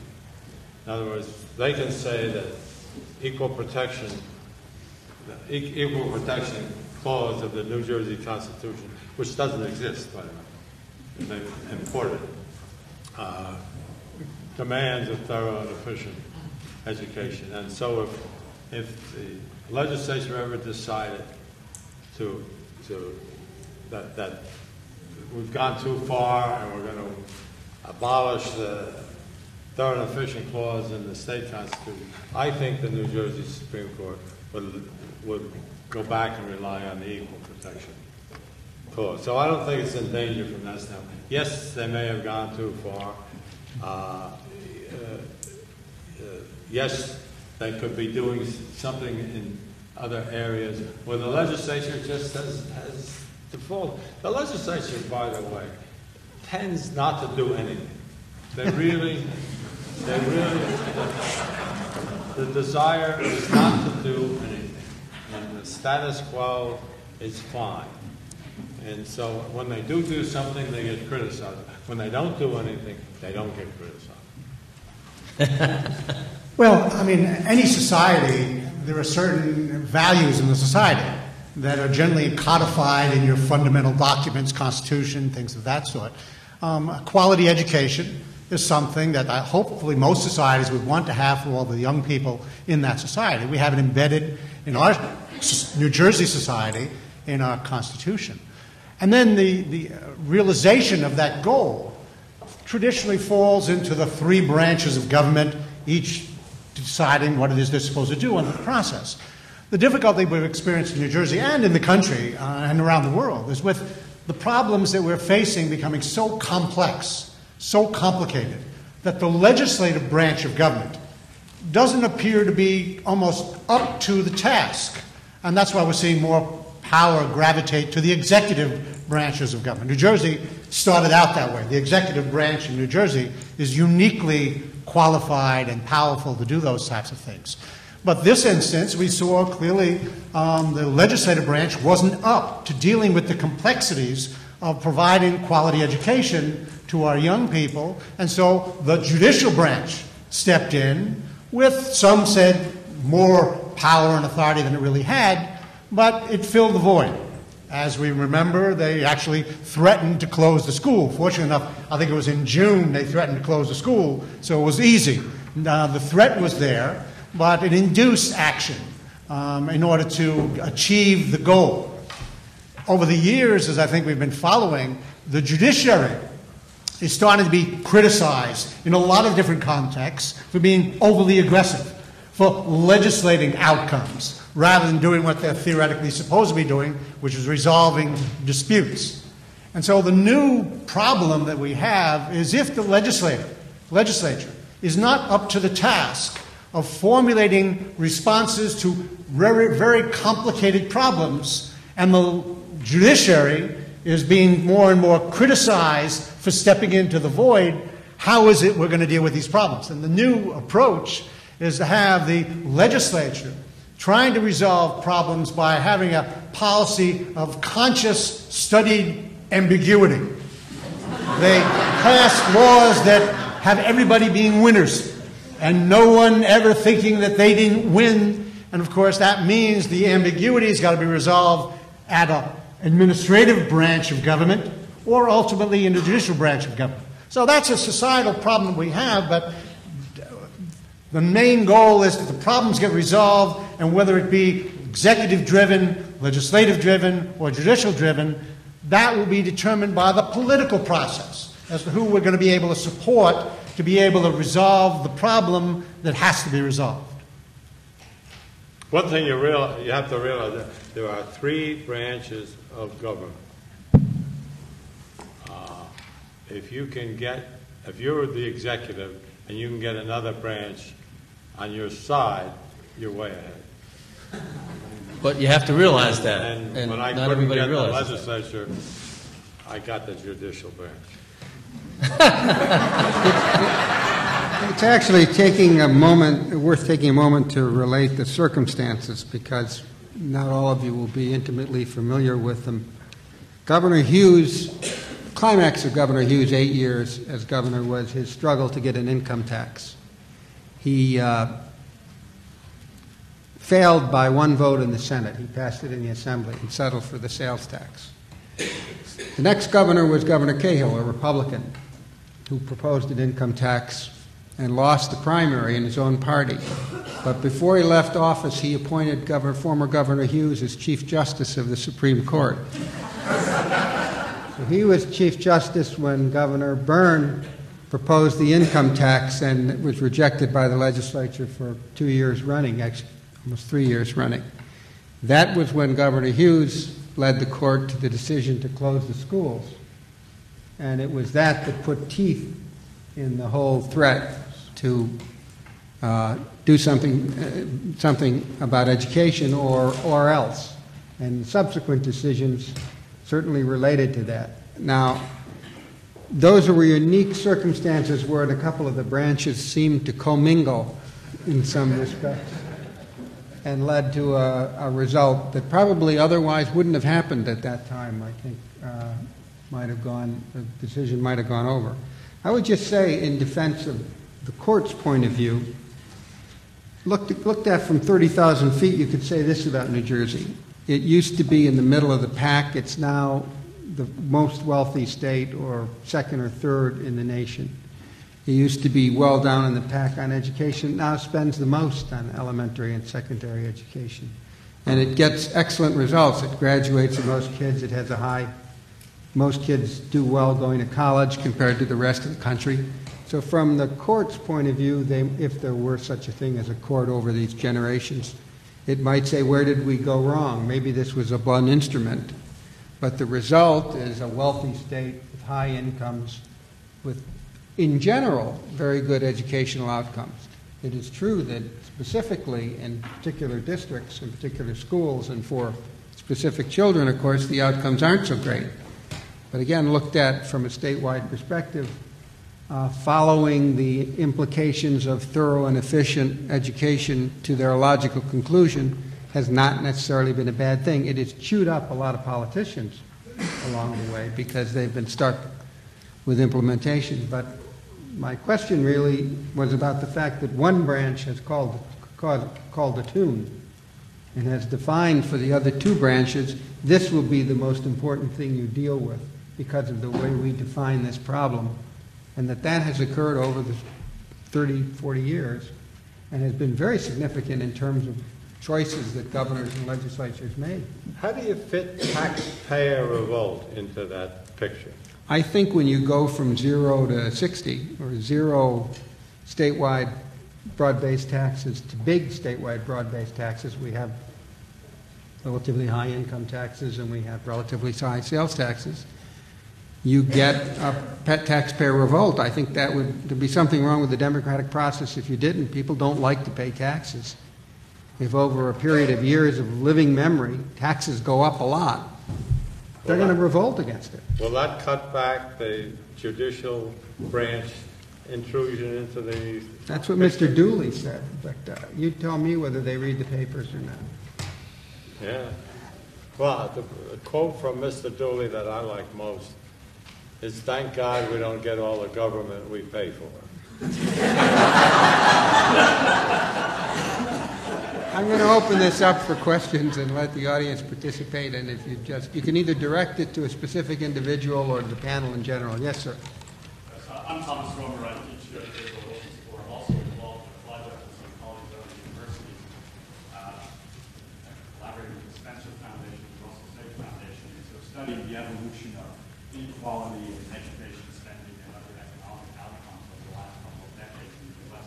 One of the striking things in New Jersey, as did, as many of you know, uh, and this relates also to Gordon's points, uh, that New Jersey actually has had the greatest increase over the last 20 or so years in education spending across the district. This is exact, and that's, that's really a stunning thing that most people don't know. If you look at the, the pattern of spending across school districts, and sort of rank districts, and sort of see how much money is spent to the top, say 10% of district-wide spending versus the bottom 10% where you other kind of inequality. New Jersey has had the greatest increase in that inequality over the last 20 years of any state in quite, a large This is related to the political aspect of, of, of, of, why Abbott has become so politically unpopular and economically also unsustainable. Because this, this increase in inequality has happened in a very unusual way. Normally, you think of increases in inequality of this type as being the result of, well, the rich get richer and the poor get poorer. And so you have to spread. That would be surprising. What's happened in New Jersey, of course, is something quite dramatically different and unusual. And that is that some very low resource districts have gotten very high amounts of spending. The high spending districts have continued to spend a lot.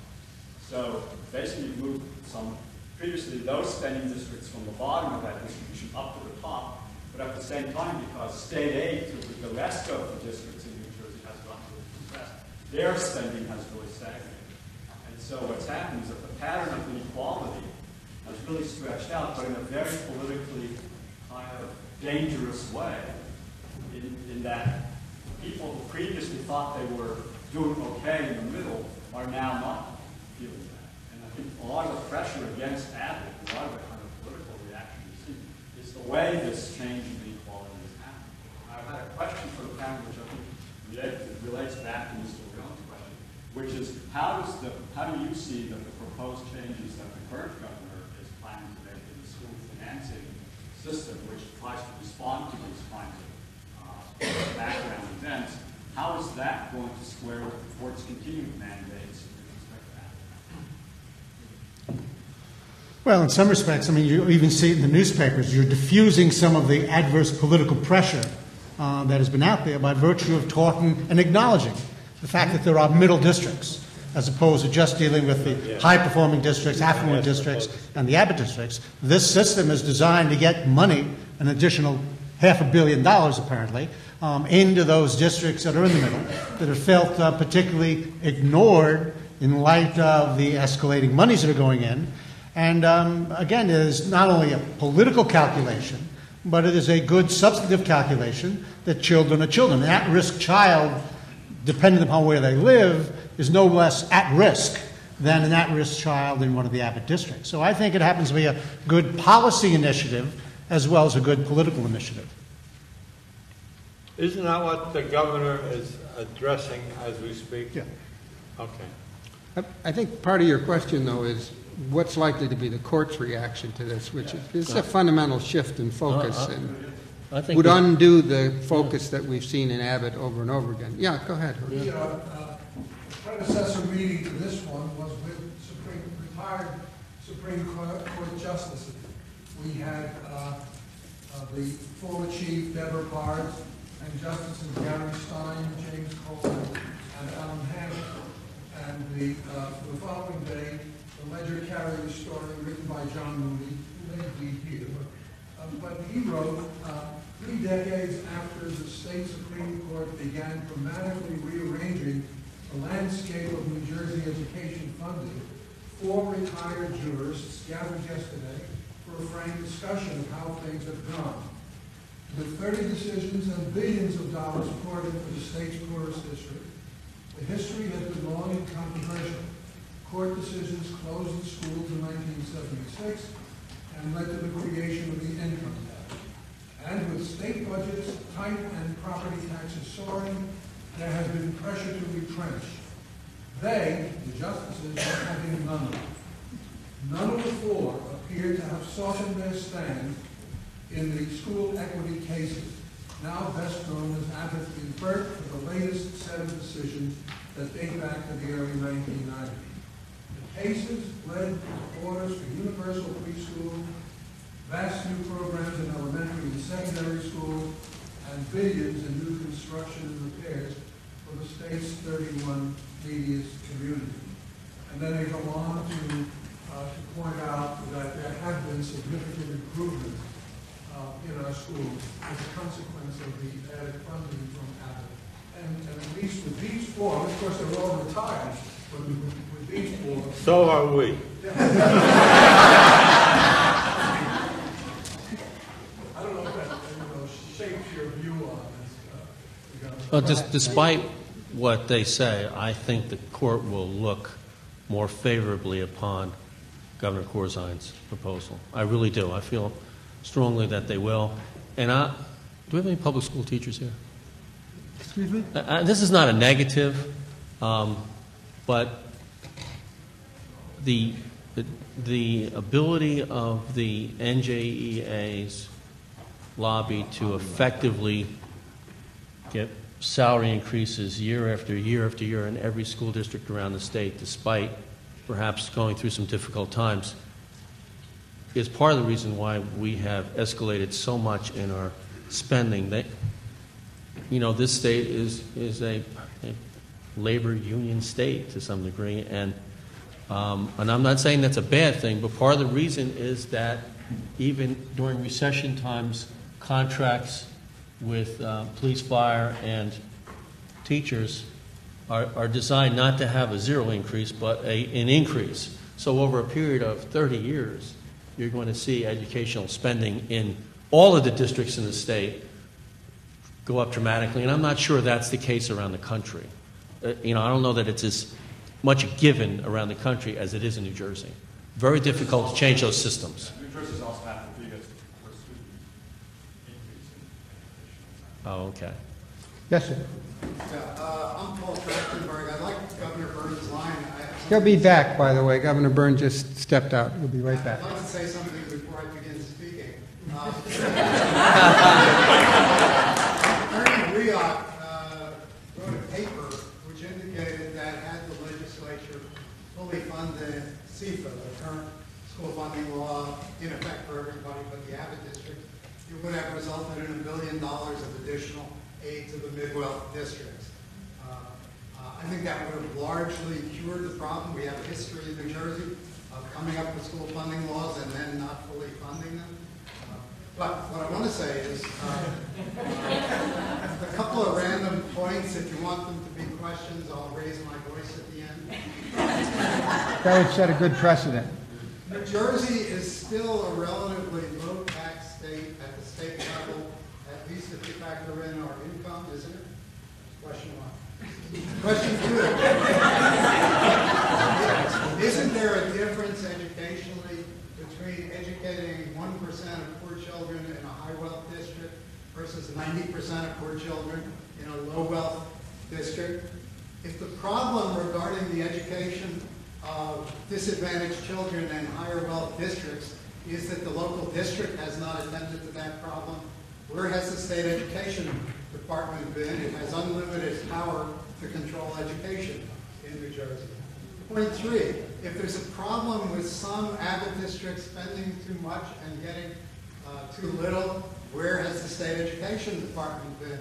Especially since two of those districts have been operated by the state itself for between 10 and 16 years. Uh, and especially since the department has repeatedly failed to carry out an evaluation of Abbott programs, which the court has mandated at least three times. Uh, a, a point, I, I, if you get nothing else out of this, I hope you will go home and read and think hard and try to understand the new school funding proposal. Of course, it's complicated because there's still no bill. Uh, but I, I think it's a very skillful exercise in public relations. If you think about one of the themes that money shouldn't follow zip codes, isn't that really what Robinson and Abbott were all about? Uh, but that slogan has been co-opted now on behalf of wealthier districts that are saying it's unfair to give all this state aid to poor districts.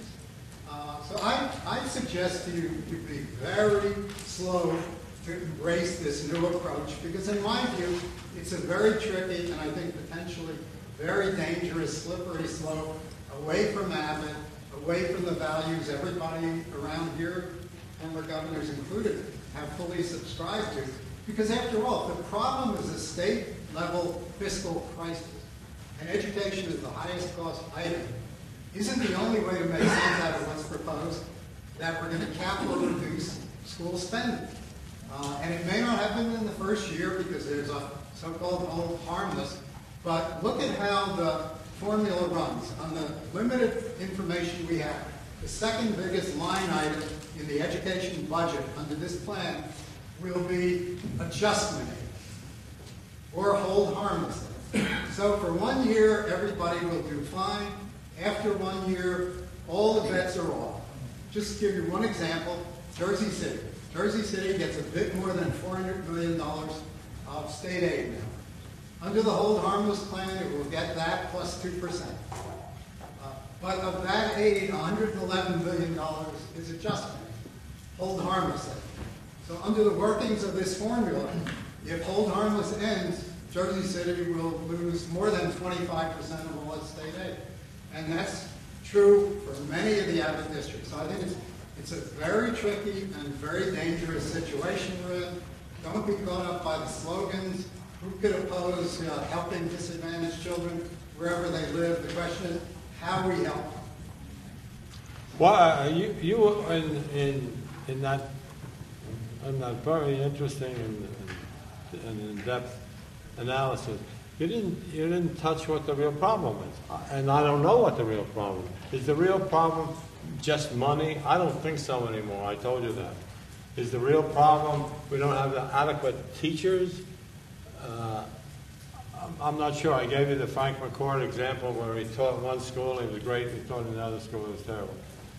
Uh, is it is it motivation? Uh, uh, do we need money to get people motivated? And if we do, where do we spend it? Uh, I, I don't think we're I don't think we're looking at a real analysis of, of what we need and how we get there. I'll just say one thing before I take this next question over here. You raised the context of the overall state financial problem. The overall state financial problem is relatively simple to explain. Uh, we, although the reasons we got into it are inexcusable, it's where we are. We are where we are. We now have a huge state debt, $33 billion. We used to be a AAA state with about $3 billion in debt. We have $100 billion of unfunded liabilities for pensions and health care. A lot of that is for teachers. because the state, under Governor Kean, took over the teacher obligations. And at the same time, in terms of the operating budget, we have operating expenditures, particularly things like Medicaid and education, which taken together grow at 6 to 7 percent a year if you leave them alone. And we have revenues that only grow at 2.5 to 3 percent a year if you leave them alone. Something's got to give. The line on state expenditures has to begin to bend so that eventually it crosses with a line on state revenues.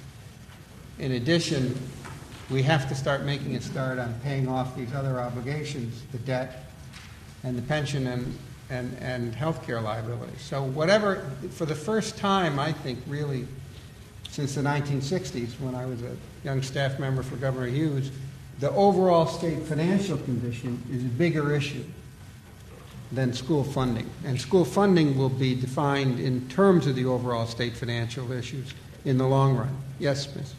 Thank you for your uh, informative presentation. Um, I'm a first year resident here. Before this, I was teaching in Kansas from 2005 to 2007. And Governor Florio, while I agree with you that money is definitely part of the problem, it's part of the answer. I just want to take it a step further and ask you two questions. Um, First, how are districts being held accountable for the funding that they're given? And second, what happens when the funding is a step ahead of the on-the-ground capabilities of districts, teachers, and staff? And I have two stories kind of just to illustrate my point. Um, at my first school, there was no soap in the faculty bathrooms, there was no paper towels. I had to bring soap in my purse whenever I used the restroom. Um, I was told there was no money for cockroach spray when we had a cockroach problem in our classroom. Um, there were no supplies at all. There were no resources. I had to buy my own pencils, paper, soap, um, glue, everything for my children out of pocket. And so I thought that this was just a problem in Camden. Um, at a district-wide level, we were told halfway through the year that they were suspending all field trips. So my kids couldn't go to the Philadelphia Zoo, we couldn't go to any of the museums. And then it came out at the end of the year that the superintendent had given herself um, performance bonuses, unauthorized performance bonuses uh, of thirty thousand dollars. Could you speak up a little bit? Yeah, we- we're having a hard time hearing you. Okay. Why don't you use the microphone? Yeah, I should have suggested people come down to the mic and identify themselves. And then raise your voice at the end so it sounds like a question. The first problem is just one of accountability. The Woodrow Wilson School can't afford to have mics.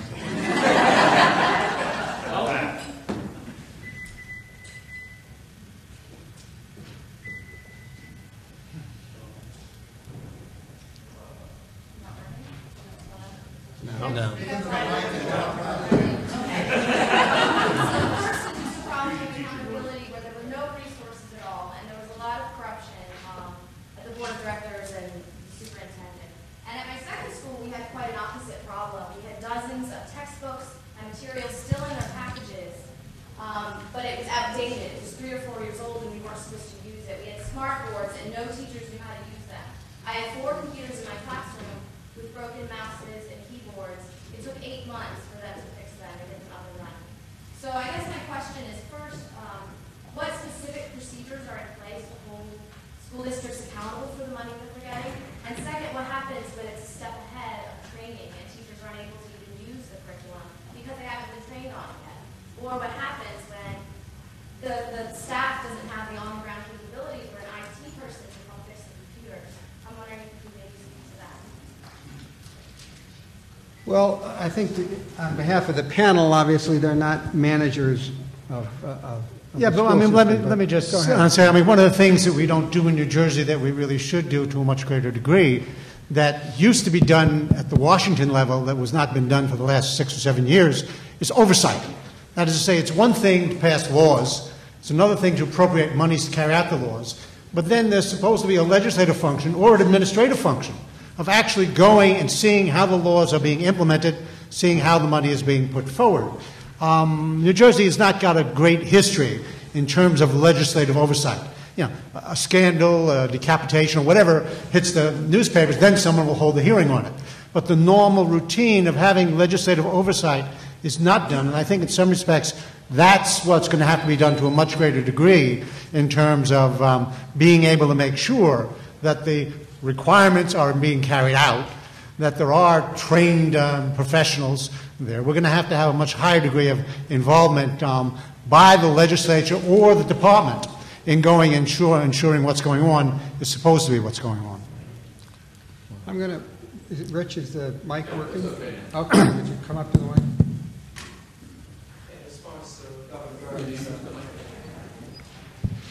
In response to Governor Byrne's um, question earlier, whether it was just a monetary issue, uh, I'm Noel Gordon, District Director of Guidance, in Englewood Public Schools.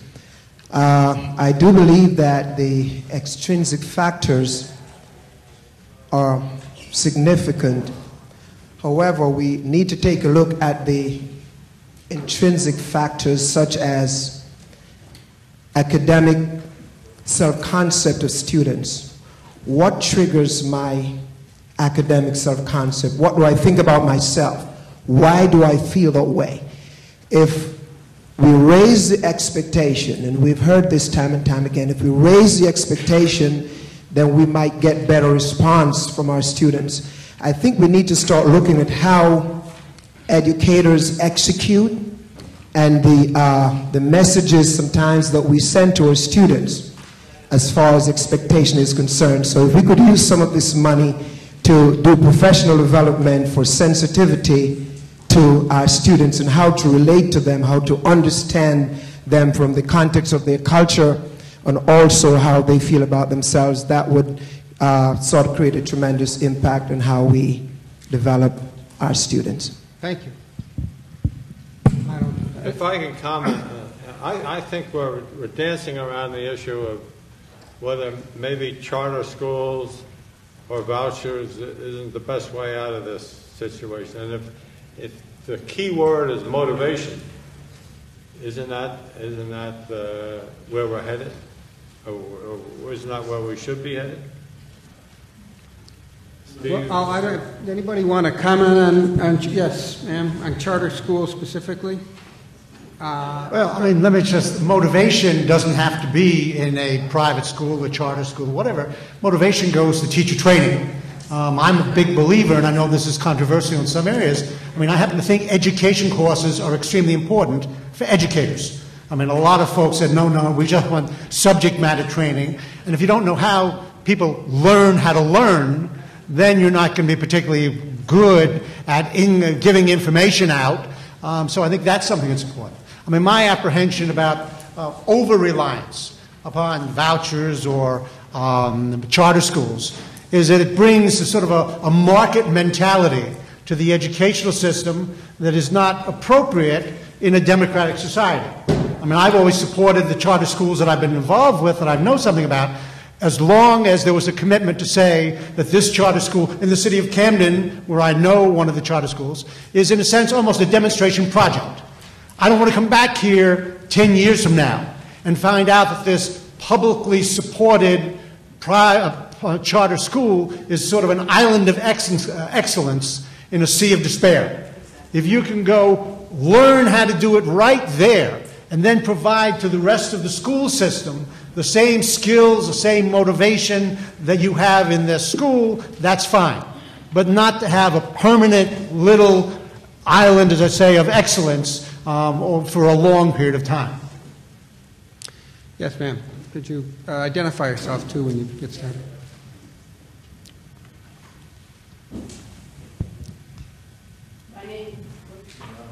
Uh,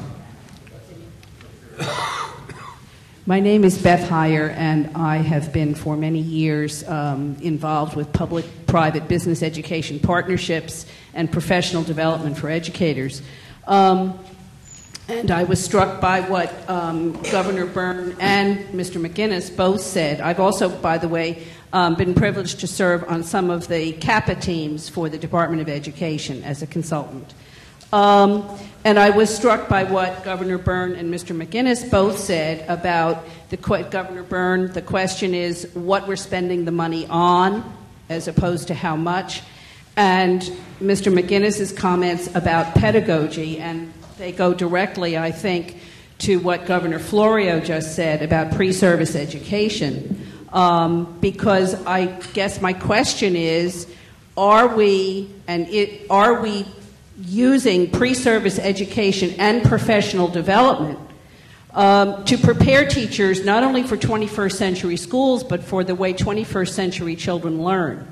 Um, and my observation is that perhaps there's some issues there. Um, Governor Florio, I, have been involved for many years with discussions about charter schools, and you hit the nail on the head that they were always designed to produce replicatable models. Um, they were not designed to be um, in and of themselves. So I think, and I think maybe that needs to be emphasized. Um, and I'd just like to ask one other question again with um, relationship to what we're spending the money on. Um, we hear a lot of conversation about what teachers should be doing, um, sensitivity in the community, whatever. Um, I wonder if there's any thought to spending some money on working within the communities to help students arrive at school able and ready to learn, because I think most educators will tell you that that is a key challenge that they face.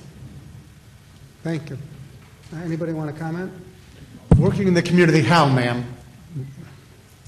Um, I'm wondering whether maybe there needs to be some effort working, uh, developing partnerships between the schools and community groups.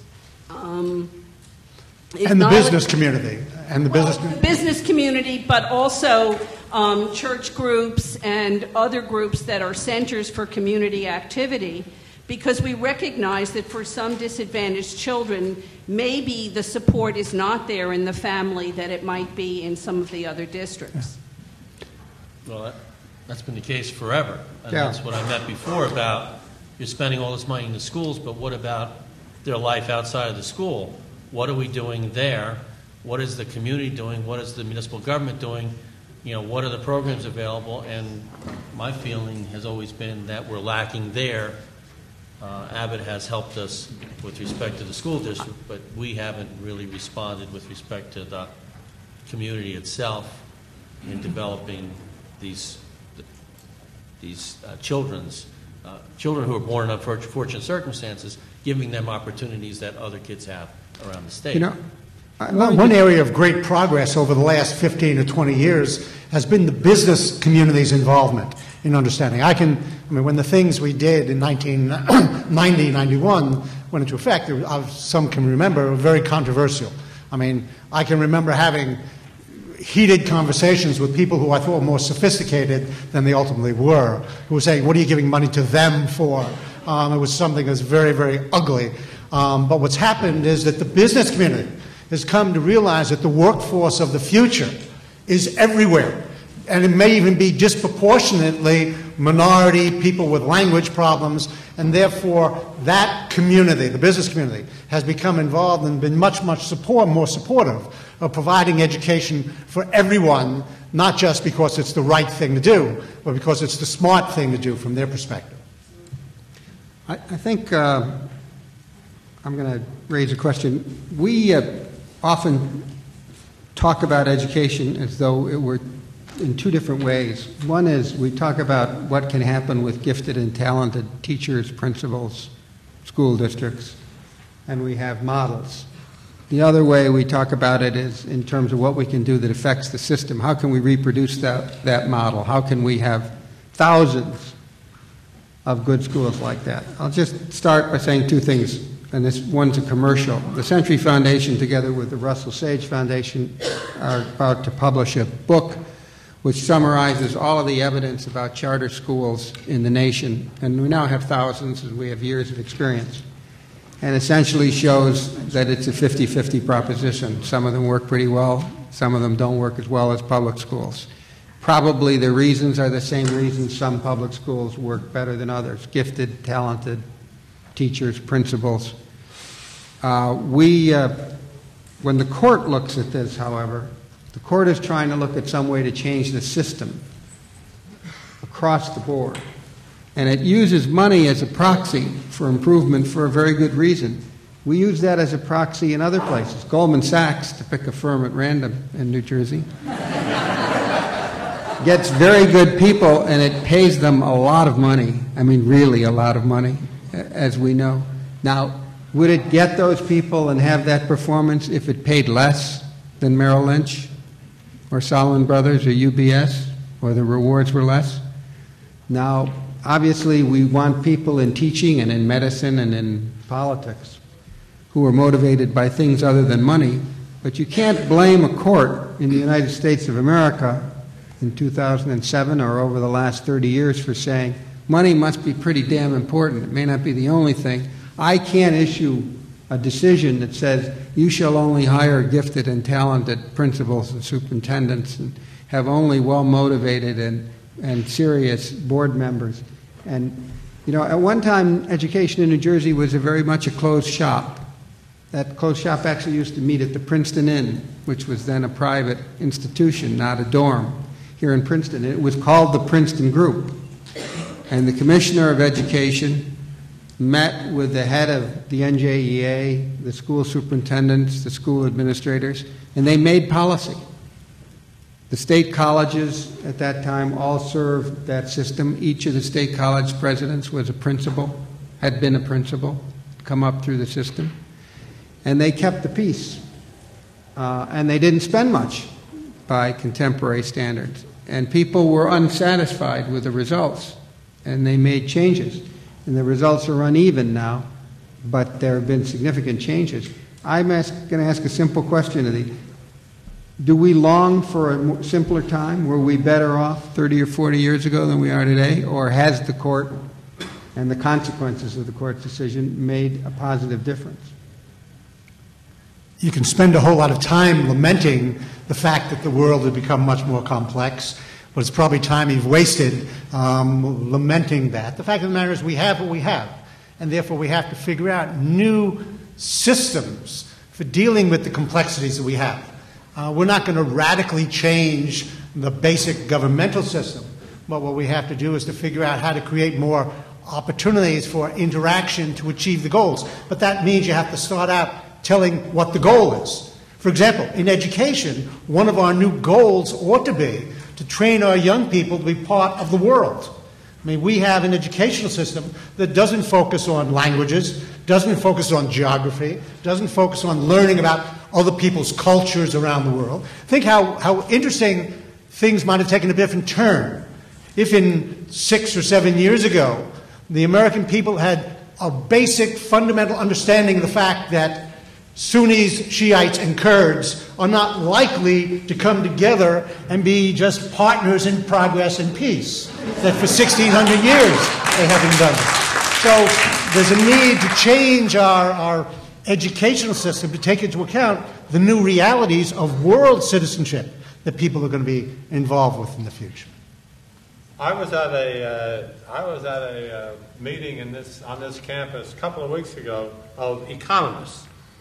And one of the economists made the point that uh, our whole educational system is based on an industrial complex that the United States has, and would train people for competing in the industrial complex of the 1800s. And we, we march them into school the same way we march them into a factory. We blow a whistle, they sit down, they memorize stuff, and they blow another whistle and they leave for lunch and they come back for the afternoon. And, and and their success is based on what they memorize. And he made the point that they can come up with a chip that can outdo any student who's on that program. And what we really have to do is teach kids how to think, and we're not doing it. Rich, Keevey. I want to pick up a question based upon comments that Dick made and Professor Tractenberg. If, in fact, the revenues are only going to go up 2% per year, and we have school aid that's committed to an additional $450 million, and we have rising property taxes that everybody is concerned about, and we have the rest of the state budget, including municipal overburden that Governor DiFrancesco alluded to, and Medicaid problems. Is it time to relook at the whole tax structure of the state in order to keep Abbott Burke going and in order to fund the rest of the state government? We're looking at presumably a $3 billion shortfall. What would you think about relooking at the entire tax Re- structure. Reworking, reworking the state's tax system in what way? And spending. To do Where the- what? where the money comes from I, I do this with and Tom where we spend every week. And, and he always says we need to cut spending and never tells me how. Uh, Tell me how to rework the state, the state tax, tax structure. Well, one, one argument could be made, we need to have a more progressive tax structure. We need to broaden the tax base. For example, just looking at the sales tax, it's quite narrow. It doesn't tax a lot of services. It doesn't tax food. It doesn't tax clothing. And those negative aspects of, the, of that base could be taken care of by tax credits and things of that nature. But if, in fact, we have this mounting problem and the commitments that Professor Tractenberg suggested, maybe we don't have enough money to fund Abbott as the years move on. What is the alternative? Is there another way to raise taxes in this state? Is it time to relook at it? Ha ha ha. I, I don't know if the, these panelists have all done their, t- put in their time on tax issues.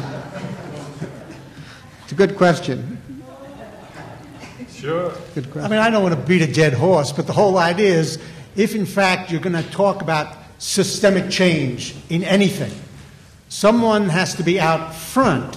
Usually, the first folks get mowed down, the first lieutenants generally get mowed down, but someone's got to go put something on the table. I never take anybody seriously who is a critic who hasn't got some specific constructive proposal to offer as an alternative. And in Jersey, the situation is such that the legislature is just constitutionally not capable of being able to launch initiatives that are comprehensive. Um, the, the judiciary is not supposed to be doing that, so it falls upon the executive. If the executive is willing to go launch things, and obviously it's not someone by themselves, they have to go build a base of support for it in the, in the private sector, the public sector. Um, but whether we talk about electric deregulation, or we talk about alternative energy systems, or school financing, or tax, those types of comprehensive things um, require real effective leadership. And the point that I would make, and I've made it on a couple of occasions today, is the times that we are in are just so dramatically and rapidly changing that for the most part, many of the institutions, many of the policies, many of the laws we have, conjured up in a different day, we should not be surprised they don't work because the facts on the ground have changed dramatically. So there's a need for changes that are not just incremental, just not marginal. There's a need for systemic change, but as Governor Byrne implied, it's easier said than done. You know, I mean, I, as a longtime legislator, I mean, I watched uh, when they raised the sales tax last year. I guess they raised the sales tax a penny, uh, and all of you probably watched that too. Now, that's not what you're talking about because you, you, you know, that's not as progressive as, as you mean. But look, they struggled. They struggled to raise the sales tax a penny. Made it seem like it would be political suicide voting for a 1% increase in the sales tax. My, prior to that, my line always was in 1982, I voted to raise the sales tax a penny. No one called me to criticize me. I didn't get one letter saying you bum, blah, blah, blah. 1992, we reduced it by one penny. No one called me to thank me. No one said a word to me. So I chuckled over this struggle to raise the sales tax one penny as if they were going to lose an election over it, which I know you never lose an election over taxes. You lose it because for other reasons. And, and so to do what you suggest might be doable takes, takes a lot of leadership, takes a lot of cajoling, takes a, a lot to, to, uh, to convince our legislature that this is a policy that we have to do in this time. It took years to get a 2% income tax passed. And I point at Governor Byrne, I mean Hughes, Cahill, Governor Byrne, 2%. It took theoretically 10 years to get that passed, let alone raise it from 9% to like 12. it's, it's, very, it's very difficult. And so, um, you know, my advice to legislative leaders constantly is don't put too much out there. Don't say you're going to change the world. Don't come out with 20 different things you're going to do this year. Pick one. Take baby steps if you have to, but, but start, get yourself on a, on a ladder of getting to where you want to be. Uh, and Governor Corzine struggled for two years with, with some of these issues, and part of it is his legislative leadership is not cooperating with him. He needs their cooperation in order to do, to en- enact some of the policy initiatives that, that you know, you're, you, you'd like to see enacted. Um, It's a new era. you, you know, it's, Uh, it's hard. It's not easy. There, there are three things in the budget that increase a lot faster than revenues. And it's interesting to think about them and what their political support is. One is education, where there's broad political support, because it's also property tax relief, but if all the money goes to a few places, the political support is narrowed. The other is health care, which tends to be, which is the next biggest item, which tends to go to poor people. Medicaid, charitable care. So the constituency for that is very narrow. The third, and actually for a number of years the most rapidly growing uh, as a percentage, percentage terms area was corrections, because we vastly increased the percentage, the number of people in prisons. Uh, that is very popular, actually, even though it- it's quite expensive. And uh, when you look at the budget and you look at the spending side, it's impossible to achieve any of this balance that everyone desires without doing something in all three of those areas, or at least two out of the three. And that's going to be very difficult. I think Paul Tractenberg raises an important question. Underneath, the court has ma- the court, the court's power and its decisiveness has masked the limited public support for increasing the amount of money for a relatively small number of districts. The health care issue has been masked by a couple of things, including the fact that we have the pharmaceutical industry here. And so we don't do a lot of things to save money in that area that every other state does. That's uh, also an expression of the way politics works. Let me get a couple questions and finish up. Yes, sir. Yes, ma'am. All of the governors of forum, fact, basically support the idea that Mr. Corzine is proposing that the money shouldn't just be given to these certain districts. It should be given, it should be totally redesigned and be given Well, based on those. Yeah, I, I mean, I said before that I kind of do. I, I guess Paul's very suspicious about this, and, and maybe, you know, maybe I should be more suspicious. Um, I, I just think it, to implement this is going to be a real, very difficult task. I mean, we haven't seen a bill. I just can't, it's going to be very hard to implement this in every district in the state. I- Who's poor, who's not poor, who, you know, I, I I don't know. I, maybe, I, I, but I, ideally, I like it. The fundamental idea. I like it. support. Yes. Governor Byrne, you- Uh, One thing I'd like to get some comment on, because I, uh, I talked to a fair number of people, and, and and people are trying to beat the system. And I'm told that one way to beat the system is to throw kids into special education. And so if you're, if you're in a, in a town like Millburn where you don't get any state aid, you you have a lot of kids they do in that. special ed. They do that. they do. That. They do? They do Yes, they do. Yes. Have any personal friends And among isn't that- school Isn't that administrators? an easier way of, uh, of adjusting the tax structure? Give more money for special education.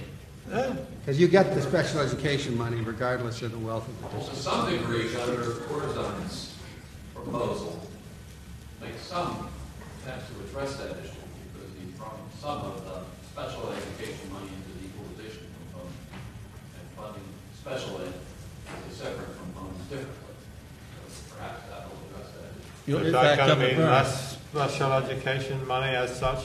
I think that the the total will be the same, the distribution perhaps will be different, as I understand it. Total goes up by four hundred million.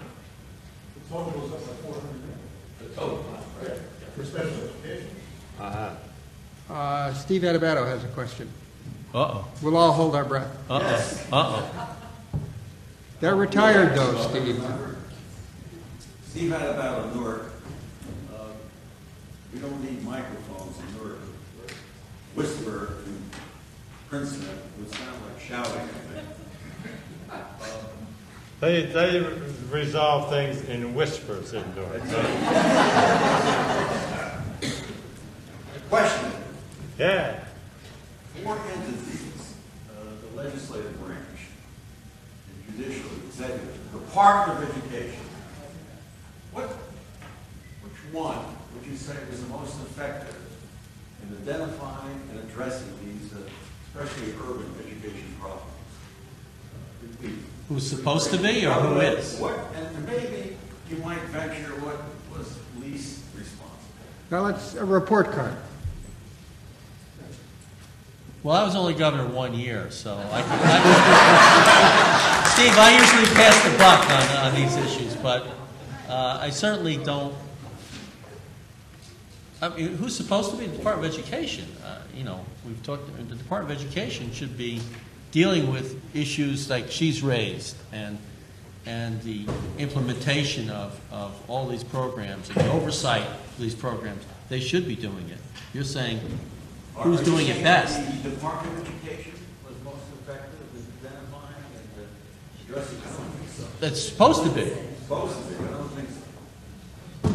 I would think, personally, I would think the governor's office is the best at identifying the problems through their cabinet and dealing with the issues. But I don't know that there can be any number one in this situation. Uh, for those of you who don't tell know who Steve Steve?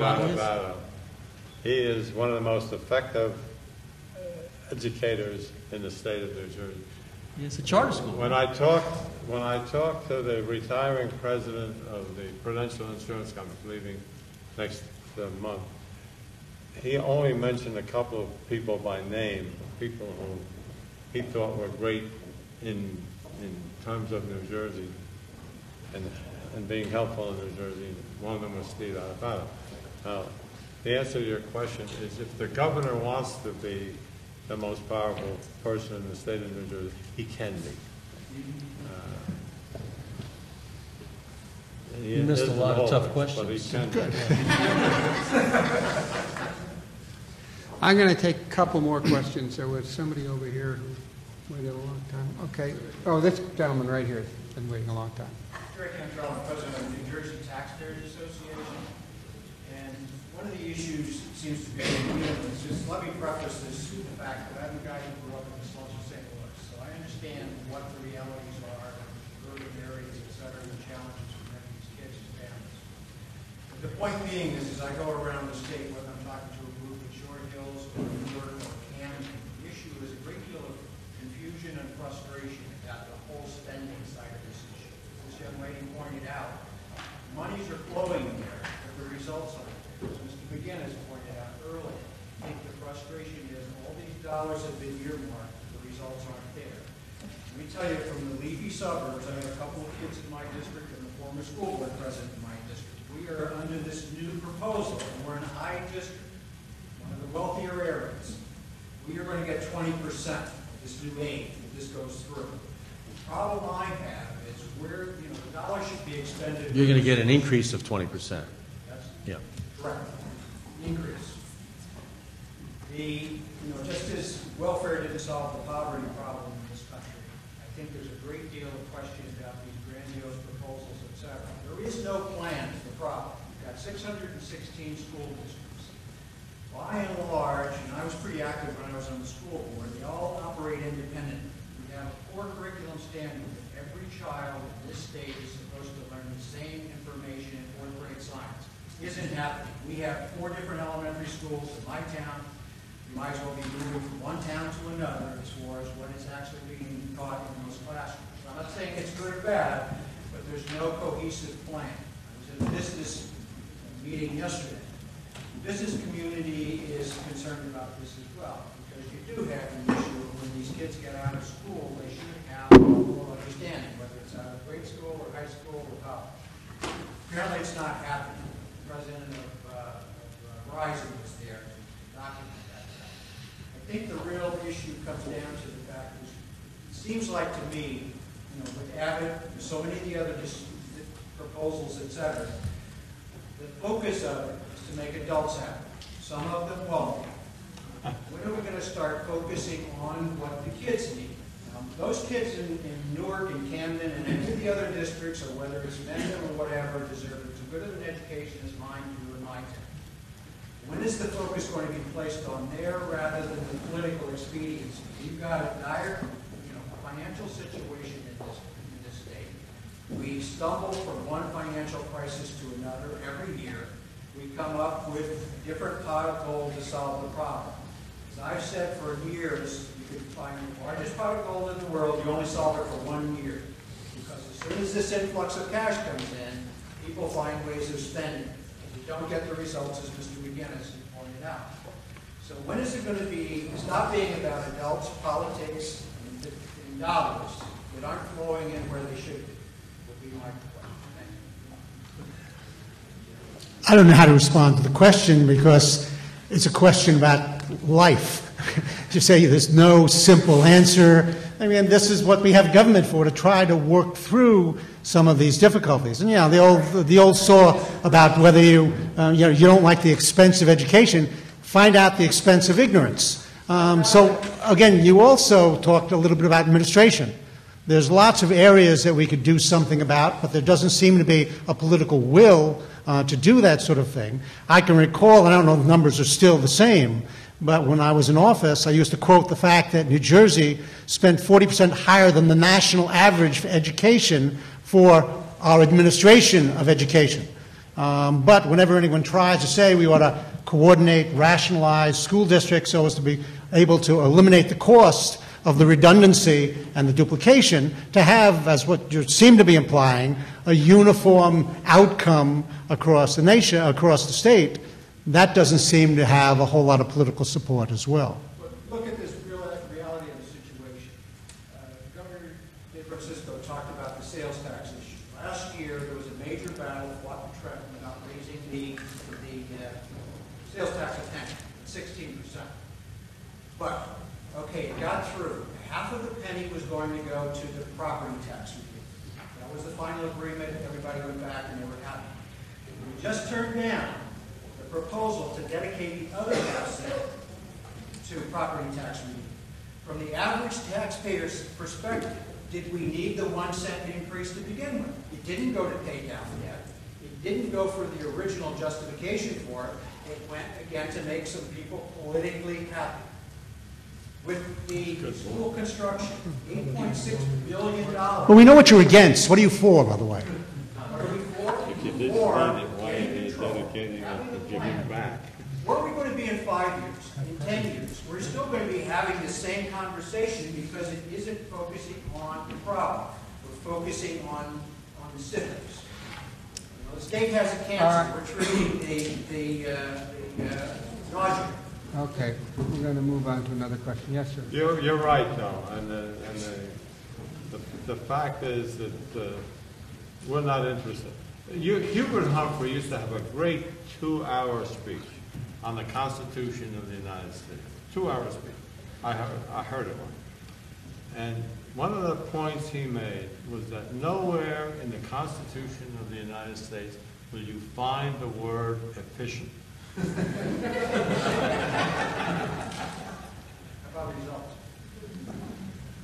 Yes.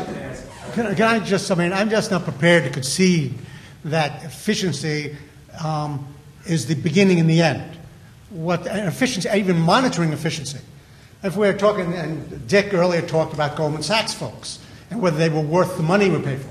Well, you can very well objectively determine whether they're worth it or not. And the profit and loss outcome. Can you do the same thing in government? Because some of the outcomes are not as neat as whether you made money that year or so. Should we be striving for cost effective programs? The answer is of course. But it's not as easy to determine uh, as a profit and loss statement is at a uh, corporation level. But there's a lot of disputes. I suspect if we went around person to person in this room, outcomes that we want to achieve in education would probably be as numerous as there are people in this room. So uh, the whole idea that somehow we're going to discover what the magic formula is that will get us to nirvana tomorrow um, is just something that's very unrealistic and in some respects immature. The process of governing is the process of constantly striving to be able to get the best arrangement at the time for the majority of people in the society. And again, that's just something that's not neat. Churchill said democracy is the worst system except for all the rest. And so what we do is, as long as we're continuing to progressively strive to a higher level of attainment, that should be what we try to do, rather than somehow lamenting the fact that we haven't reached the ultimate point of perfection. Excuse me, this man's, this, this man's waiting. Thank you. I would like, like to ask the former governor that uh, in recognizing the tremendous wealth of the state of New Jersey, and was there ever, any thought given that now our public schools are some of the most segregated public schools in the United States? Um, if somebody had come during your term and said that the answer to closing the achievement gap and raising student achievement would be in integrating our students, African American, Latino, and white, and those that are poor, and those that come from affluent districts, would you have had the, courage and the, political will at integration across this state, recognizing the, the long history of home rule? Can you repeat Oh, this? I I think I can repeat it. I, actually, I can probably answer it quickly and save you the trouble.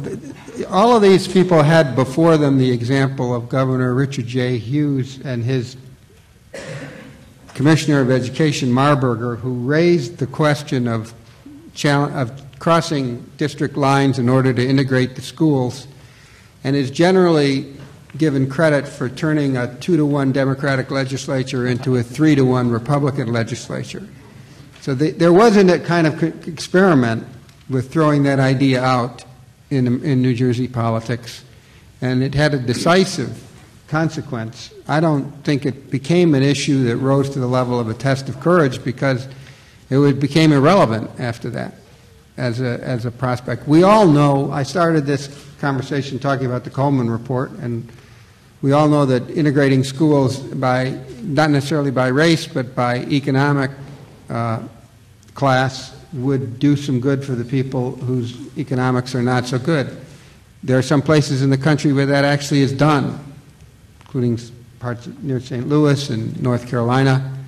Uh, but in the rest of the country, it's proven extremely difficult, and it is now being fought out in higher education as a, as a substitute for uh, uh, racial integration because the courts, this, the United States Supreme Court does not look with favor on using race in any way as a judgment of who can go to what school or who can be admitted to what school. And we will probably find out over the next decade in a series of Supreme Court decisions how they feel about economic criteria being used uh, to admit people into colleges and programs. In other words, admitting some people because their incomes are low who might otherwise not be uh, admitted. And uh, so it- it'll play out at both levels. But I think it's there's a world of what's relevant to politics and a world of what's irrelevant to politics, and it became irrelevant in New Jersey in the 1960s and 70s for reasons that were nakedly political. Uh, It's, it's democracy, though. It, it, the- you know, the people, ultimately, the system may not be very responsive. It may often not do what people want it to do, but there are, limit, there are uh, limits to that because people will punish those politicians who do what they don't want them to do and throw them from office. And that tends to define what's possible. Uh, What you are seeing a little bit is of a a city like Hoboken, for instance, which had the problem 20 years ago and doesn't have the problem now, not because we did anything in, in Trenton, but because they did something in Hoboken. And now Hoboken is a, a very integrated uh, community. Montclair is now a very integrated uh, community. And so I, I think you're seeing that from the back end forward. Slowly. Um, I'm going to take one more question and then ask Rich Keevey to sum it up. Yes, ma'am. Could you come down and use the microphone?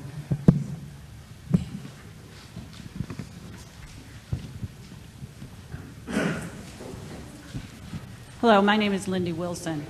Um, regarding the special ed funding, I think it's interesting, and I'm not sure how it's going to work in the new formula, but the only funding we had following the child was special ed funding, and now we're changing that not to follow the child.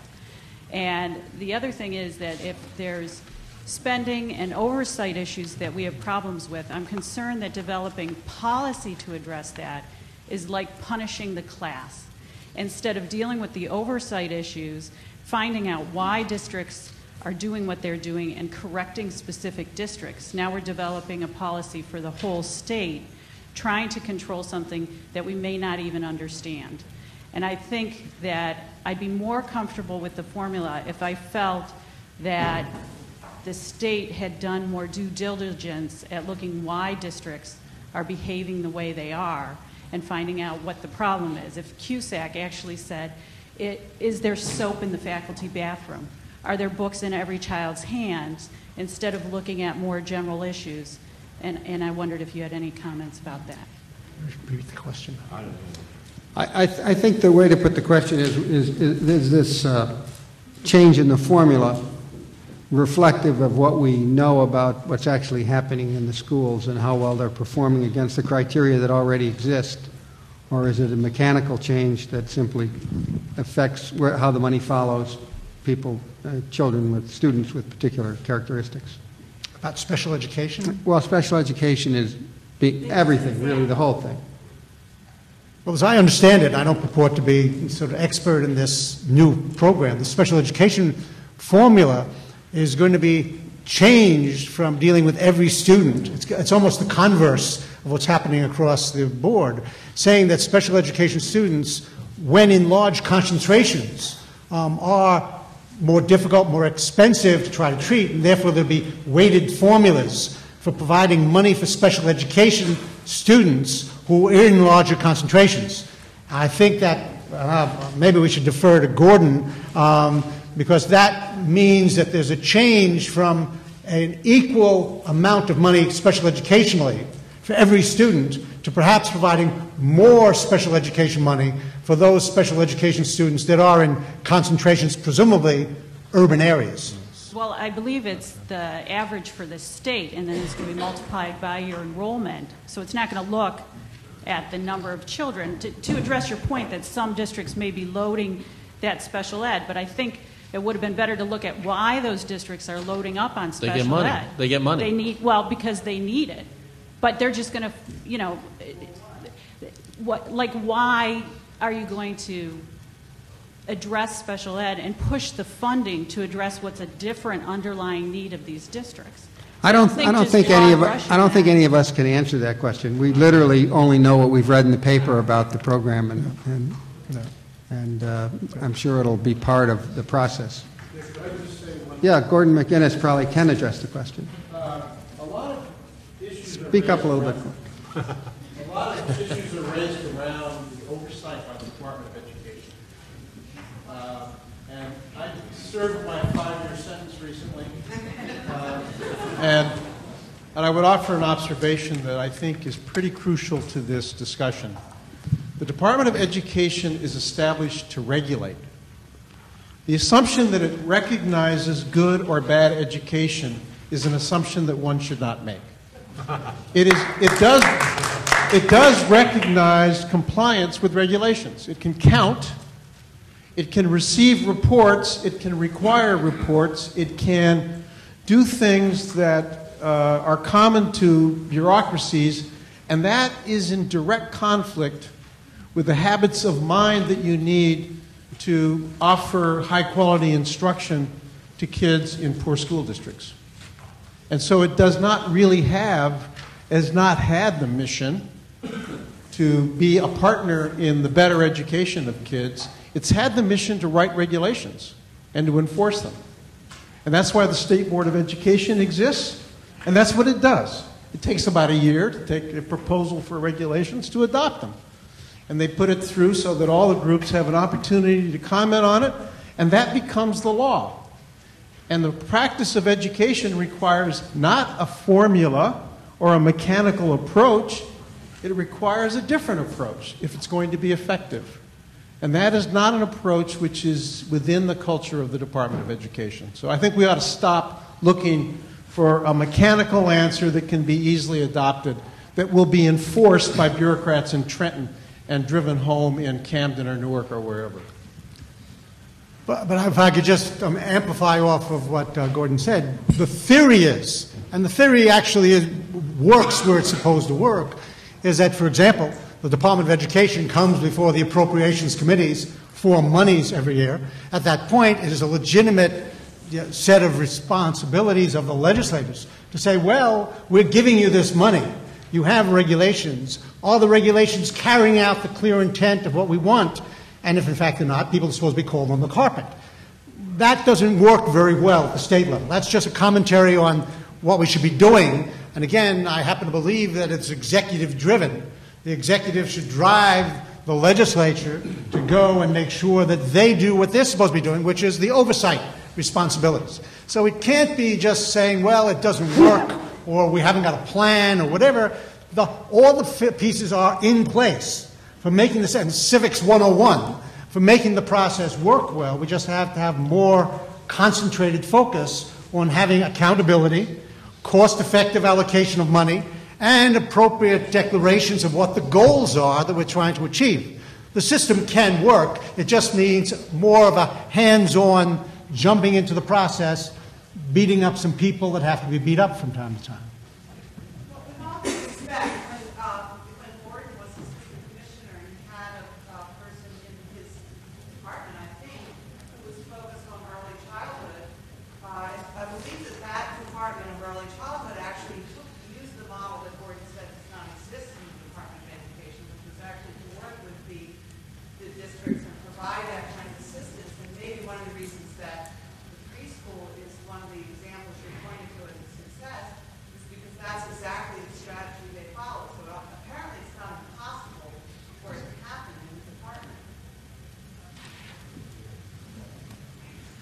Okay, well, on that note. That's good. We need an optimistic well, note. Well, we started out with Abbott Burke and we wandered into tax policy and municipal overburden and integration and formulas and family content and family values. And so uh, I would like to thank uh, Dick Leone for mon- uh, being the moderator for this panel, and Governor Byrne and Governor Florio and Governor DiFrancesco, and for you for coming. We like to do these kind of forums but they're not possible without the uh, uh, interest of the panelists who participate. And I know they have all very busy schedules, so we certainly appreciate it. And maybe we could give, uh, give them a round of applause.